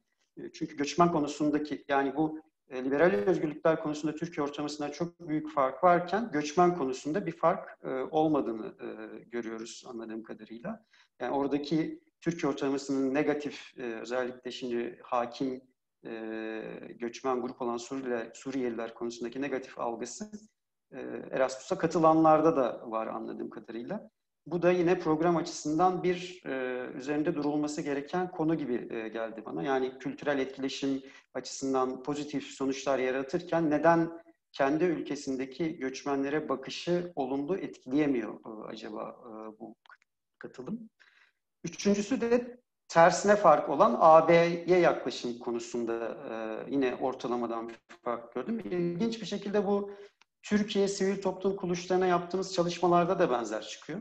Yani e, Avrupa Birliği projelerine katılan, Avrupa Birliği ile daha fazla temas etmiş kuruluşlarda Avrupa Birliği ile e, ilgili e, sorularda daha negatif bir tablo e, ile karşılaşıyorduk biz. Burada da benzer bir şey olmuş. Bu da Avrupa Birliği, e, e, belki Türkiye delegasyonunun ya da Avrupa Birliği'nin Türkiye ile ilgili e, birimlerinin düşünmesi, üzerine çalışması gereken bir konu olabilir. Bu tabii diğer kısımların e, bilinirlik, farkındalık düzeylerinin eksikliğiyle de e, ilgili olabilir. E, ama yani ortada bir e, bu projelere katılımla AB e, farkındalığı ya da AB e, algısı, Türkiye'nin AB süreciyle bakışı ile ilgili bir sıkıntı olduğuna da işaret ediyor gibi. E, bu göçmenler konusunu tabii Samuel'e de e, yine sormak istiyorum. Yani Avrupa'daki e, örneklerde de Erasmus'a katılmış Avrupalı gençlerin kendi ülkesindeki göçmenlere bakışında bir farklılık oluyor mu? E, bir de onu bu kısmı e, sormak isterim. E, bir de şey tekrar bir merak ediyorum. Yani bu o, e, toplamdaki Erasmus programının etkilerini e, acaba katılan profil den ne kadar I, I ondan like kaynaklanıyor? apologies for interrupting you. Uh, we just need to finalize your comment. Kusura bakmayın sizi kesmek Tabii, tabii. zorundayım. Bitirdim Sözlerinizi zaten. tamamlamanızı rica edeceğim. Hı hı. Yani bu kadar aslında o zaman. Bu katılımdan mı, profilden mi kaynaklanıyor bir vurgulamak istedim. Teşekkürler, elinize sağlık tekrar.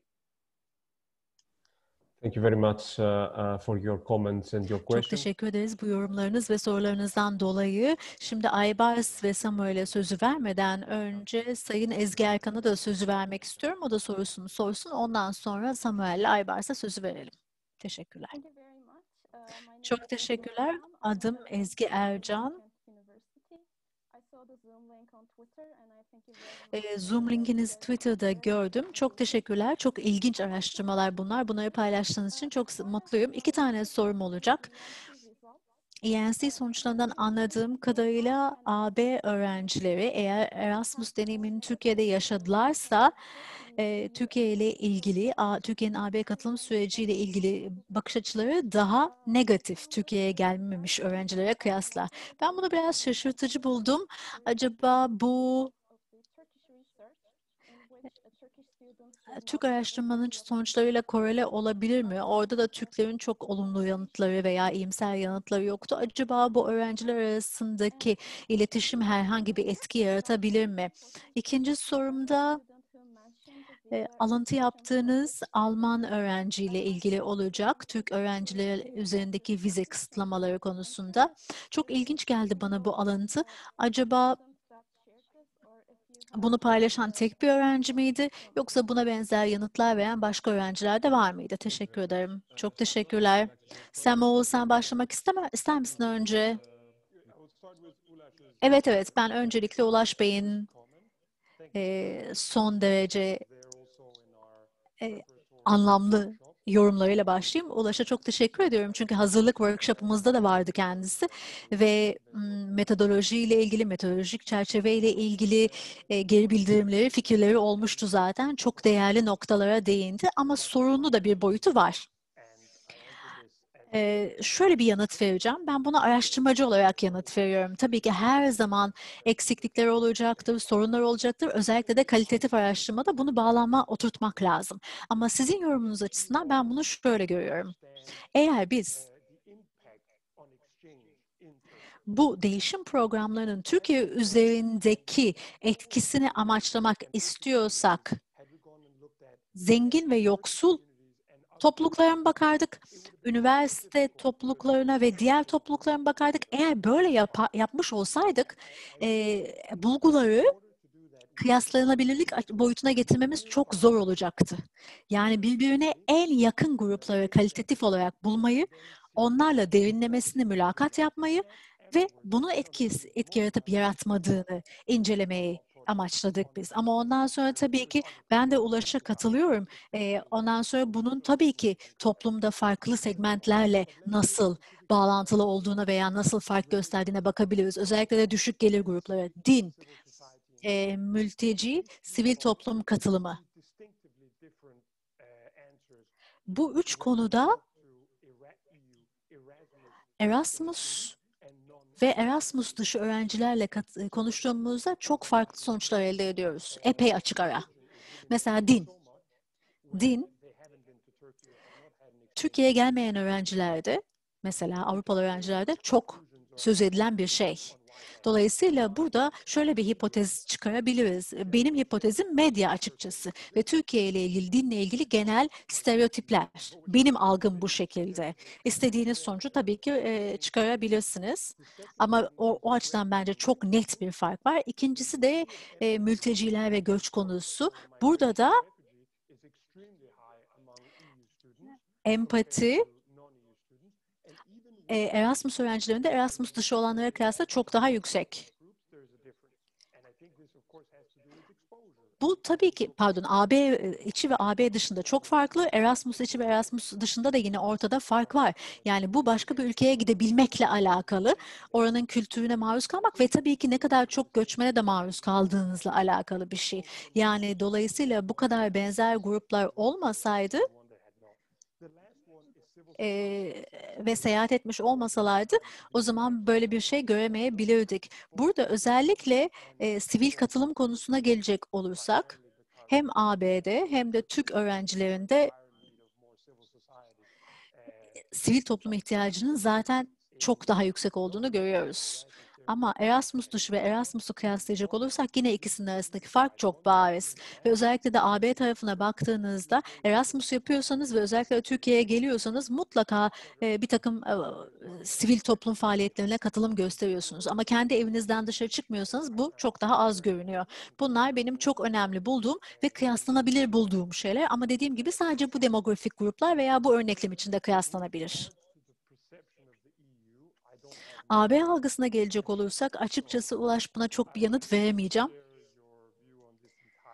Bununla ilgili görüşünü yüzde yüz destekliyorum. Bu ciddi bir sorun. Umarım AB delegasyonu ve başka kurumlarda bu konuya daha fazla eğilirler. Çok ufak bir yorum yapabilirim bununla ilgili. O da şu, bu sadece Türkiye'ye özel bir olgu değil. Aslında diyorlar ki Brexit de bu sebeple olmuş. Bunu diyen de çok var biliyorsunuz. Ne kadar ironik. Yani mesela ben yarı Danimarkalı, yarı İtalyanım. Gazeteleri okuduğumda bakıyorum siyasetçiler Brüksel'e gidiyorlar. Brüksel'de bir anlaşmaya veriyorlar. Sonra evlerine dönüyorlar ve onlara benzemeyen kişilere veya coğrafi olarak onlardan uzak ülkelere e, kabahat buluyorlar. Hep böyle olmuştu zaten insanlık tarihinde. Ne yazık ki iyi bir şey değil. Samuel, would you like also maybe to comment in uh, the question? Uh, uh... Samuel, aynı şekilde Ezgi'nin de Avrupalıların Erasmus e, deneyimine sahip olduklarında ne gibi yanıt verdiklerine de e, bir şeyler söylemek ister misin? Evet. Erasmus Erasmus deneyimi Türkiye'ye yakınlaşmak görebildiğiniz kadarıyla doğrudan e, katılım sürecini daha olumsuz görmeye yol açıyor mu? Bana sorarsanız sadece süreci daha iyi anlamış oluyorlar. Olumsuz olmaktan ziyade. E, bence bunu gösteriyor. Bunu bir değer yansıtacak şekilde söylemiyorum. Şu anda katılım süreci o kadar disfonksiyonel bir durumda ki Türkiye'ye gelen bir Erasmuslu bunu fark ediyor ve e, mekanizmasının tamamen çöktüğünü görüyor. Türkiye günün sonunda hiç avuç olduğunu görmeden ne diye bütün sürecini değiştirsin? Bunu görüyor öğrenciler bence, akıllılar da. Türk öğrencilerden etkileniyor olabilirler mi? Evet, olabilir. Bir de bu önemli mi? Yok. Sadece olgusal bu. Bir ülkede zaman geçirirsiniz. Elbette başkalarından, orada bulunanlardan etkilenirsiniz. Gayet normal. Aybars? Ulaşım sorusuna cevap vereyim. Ee, çok teşekkür ederim. Ee, çok değerli bir katkı verdin. Şimdi ben aslında şeye baktım tekrar. Biz ne sormuşuz da bu kadar liberal cevaplar almışız diye. Ee, biraz bana da açıkçası başta sunumda da söylemiştim. Normalden yani Türkiye genelinden biraz daha liberal sonuçlar çıktı doğru ama biraz belki soruları sorduğumuz zaman çok köşeli sormamızdan da kaynaklanabilir. Mesela biz gençlere alkol kullanıyor musunuz demedik de mesela alkollü restoranda e, yemek yer misiniz diye sorduk. Burada da gençler alkol kullanmasa bile arkadaşlarıyla böyle lokantalara ve alkolün servis edildiği lokantalara gidebiliyorlar mesela. Belki direkt alkol kullanımı hakkında bir soru sorsak farklı bir cevap alabilirdik. Veya işte kürtaj yasaklanmalıdır mesela. Hani e, burada çok net bir şekilde e, bir yasak e, ile soruyu e, ifade ettiğimiz için e, sanıyorum o da biraz e, rol oynamış olabilir diye düşünüyorum. E, ama biraz şeye göre yani Türk ortalamasına göre daha sonuçların şey çıktığını biz de farkındayız. Özellikle bunu şeyde bekliyorduk zaten. Hani Erasmus tecrübesi olan öğrenciler. Bir kere bu e, chatboard'daki sorulardan birinde de vardı. Erasmus'a gitmek zaten belli bir aslında ekonomik e, güç gerektiriyor aslında. Yani bir takım burslar var. E, öğrenciler bazı finansal yardımlar bulabiliyorlar ama sonuçta birkaç ay Avrupa ülkesinde hayatını idame ettirmeniz masraflı bir iş. Bizim Türkiye'de yaptığımız mülakatlarda e, Erasmus'a maddi sebeplerden ötürü gidememişti. Birçok öğrenciyle de konuştuk bu arada. Dolayısıyla zaten belli bir e, ekonomik gelir seviyesine sahip öğrencilerin gittiği bir program.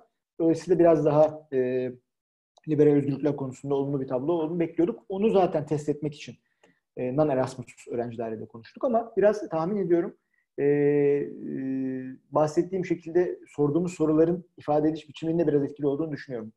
E, ama tabii e, biraz daha geniş bir e, örneklemle e, daha derinlemesine yapmak lazım. Daha net bir sonuç almak için. Avrupa Birliği ile haşır neşir olan e, kişilerdeki bu Avrupa yorgunluğu, Avrupa Birliği yorgunluğuna katılıyorum ben de. Bu projenin başlamadan önce Ankara'da açılış toplantısı yapmıştık. E, Bakan Yardımcısı Faruk Aymakçı Bey de e, işte e, biliyorsunuzdur belki daha önce toplantı katıldıysanız cep telefonunuzun oy veriyorsunuz. İşte oradaki herkes Türkiye Avrupa Birliği'ne üye olmalı ne düşünüyor falan. Orada da oldukça negatif çıkıyordu sonuçlar. Dediğim gibi hakikaten bu işlere e, biraz içinde yer alan sivil toplum özellikle e, daha biraz daha e, hevesi kırılmış oluyor. Aynı şekilde Avrupa'ya giden öğrenciler de sanıyorum bu yorgunluktan nasiplerini almış durumdalar. Çok yüksek bir fark var arada. Ama Suriyeli mülteciler meselesi beni de gerçekten e, şaşırttı. Yani orada zaten biz daha önce yaptığımız çalışmalardan da negatif algıyı biliyoruz toplum üzerinde ama hani bunun diğer bütün konularda bu kadar liberal e, özgürlükler ve olumlu bakan tablo çizen gençlerin bu konuda Türkiye ortalamasında yer almaları gerçekten e, önemli bir sosyolojik gerçekliği işaret ediyor. Bence bu konu üzerine gidilmesi ve çalışılması lazım. Çünkü sonuçta yani Türkiye'nin şu an önündeki en önemli meselelerden bir tanesi bu. E, dolayısıyla o gerçekten beni de etkilen bir sonuç oldu ama e, sonuçta bu da bir araştırma. Hani bütün e, e, dünyanın e, şeyine soruya cevap veren bir çalışma değil. Bir resim çekti, çekmeye çalıştık bununla daha fazla çalışma yaparak bu konuda daha derinlemesine analizler yapılabilir diye düşünüyorum. Tekrar çok teşekkür ederim. Hem katılımın için daha önce hazır toplantısına katılmıştım. Çok sağ olun. Um, since we are coming to an end, I'm just gonna uh, mention... Sona gelirken iki sorumuz kaldı. Bir tanesi gelir e, durumunu dikkate aldınız mı? Erasmus Plus ve diye. Son soruda bu rapor toplantıdan sonra web sitesine paylaşılacak demiştiniz. Evet paylaşılacak. Bunları daha sonra siz web sitesinden indirebileceksiniz.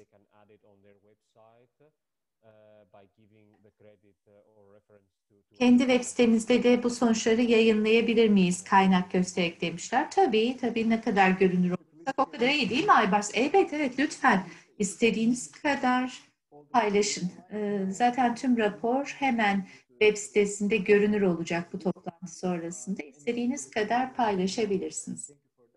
Ve teşekkür ederiz aslında.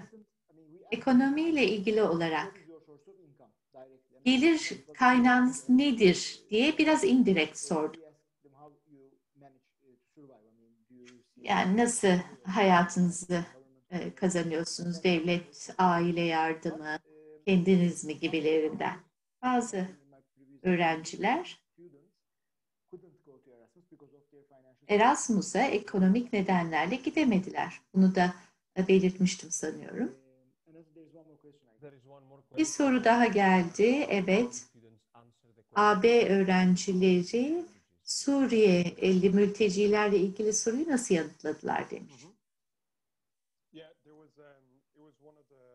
Evet.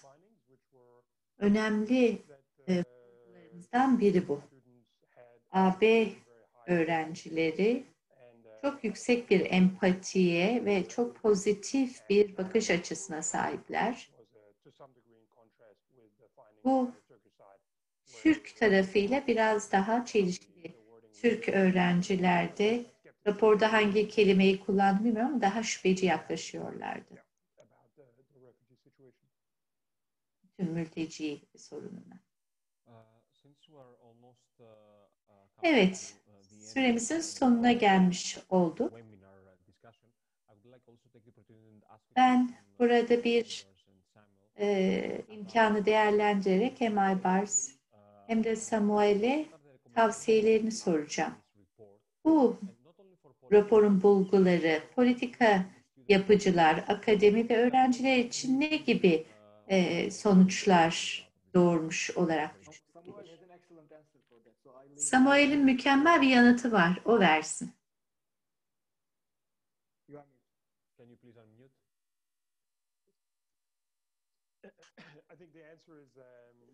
Yanıtım dün de konuştuğumuz için e, çok net. Orada da aynı şeyi söylemiştim. Burada da tekrarlayayım. Biz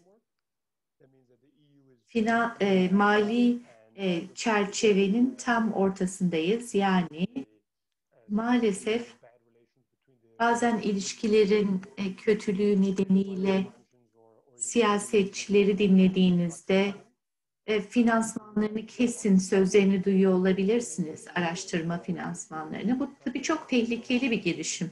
Araştırmamızın da gayet net bir biçimde gösterdiği üzere aslında temel evrensel değerler her iki tarafta da saygı görüyor. Üniversite arası gelişimin faydası var ve sivil toplum tek başına değil ama üniversite ile birlikte el ele e, eğer finansmandan yoksun bırakılırsa çok ciddi muzdarip olur. E, Türkiye'deki sivil toplum ve üniversiteler kısmen bundan kötü etkilenir. Bu çok kötü bir tavsiye ve dolayısıyla bizim raporumuzun tavsiyesi bu tür e, kesintilere asla bir son soru sormak istiyorum. Başka sorusu olan yoksa.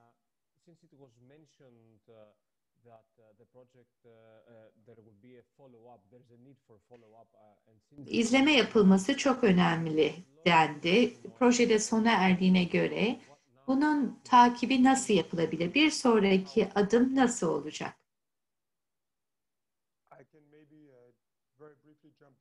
Çok kısaca buna da yanıt verebilirim belki. Çünkü şimdi yeni bir araştırmayı tasarlıyoruz. Bu rapora dayalı olarak. Ulaş ve Başak gibi bu konuyla ilgilenen başka bulguları olanlar da e, bununla ilgilenebilirler. Bunun bir izleme araştırması gelecek sene başlatılacak. Online yaz okulu olacak. Hem Erasmus'lu hem de olmayan öğrencilerin görüş alışverişi yapabileceği, sivil toplumu konuşabileceği, istihdam, temel iş becerileri, AB finansmanı konularını ele alacağı bir workshop olacak. E, çünkü araştırmamız bunların önemli olduğunu gösterdi. Ayrıca daha inovatif fikirlere de açığız. Hem AB hem Türkiye ile ilişkilerin temel evrensel gelir, e, demokrasi müzakereleri, otomasyonun insan üzerine yani hem Türkiye hem AB istihdam üzerine etkileri, daha eşit, adil bir e, etki yaratıp yaratamayacağı gibi konuları ele alacağız. Evet, mükemmel. Çok teşekkür ederiz. Samuel Aybars yanıtlarınız için sizlere, katılımınız için tüm izleyicilerimize teşekkür ederim. Şimdi sözü Aybars'a vereceğim. Çok kısaca kapanış konuşması yapacak. Zamanımızı sonuna kadar kullanmış olduk Aybars değil mi? Evet, teşekkürler. Toplantılar. E, kolay da olmuyor takip etmesi. Biz de her hafta düzenlememize rağmen hala tam alıştığımızı söyleyemem. Vakit ayırdığınız için çok teşekkürler e, gerçekten. E, Avrupa Birliği Başkanlığı'na da ayrıca tekrar teşekkür etmek istiyorum destekleri için. Ve değerli tüm katılımcılarımıza da e, soruları ve yorumlarıyla katkı yaptılar. Çok çok sağ olun. E, umarız başka toplantılarda görüşmek dileğiyle. Belki Samuel de bir şeyler söylemek ister en son. Uh, thank you, Ibars, and Çok thank you. teşekkürler Aybars. Herkese katılımınız için çok teşekkürler. Thank you very much. Have a lovely uh, evening. Thank you very much. İyi akşamlar.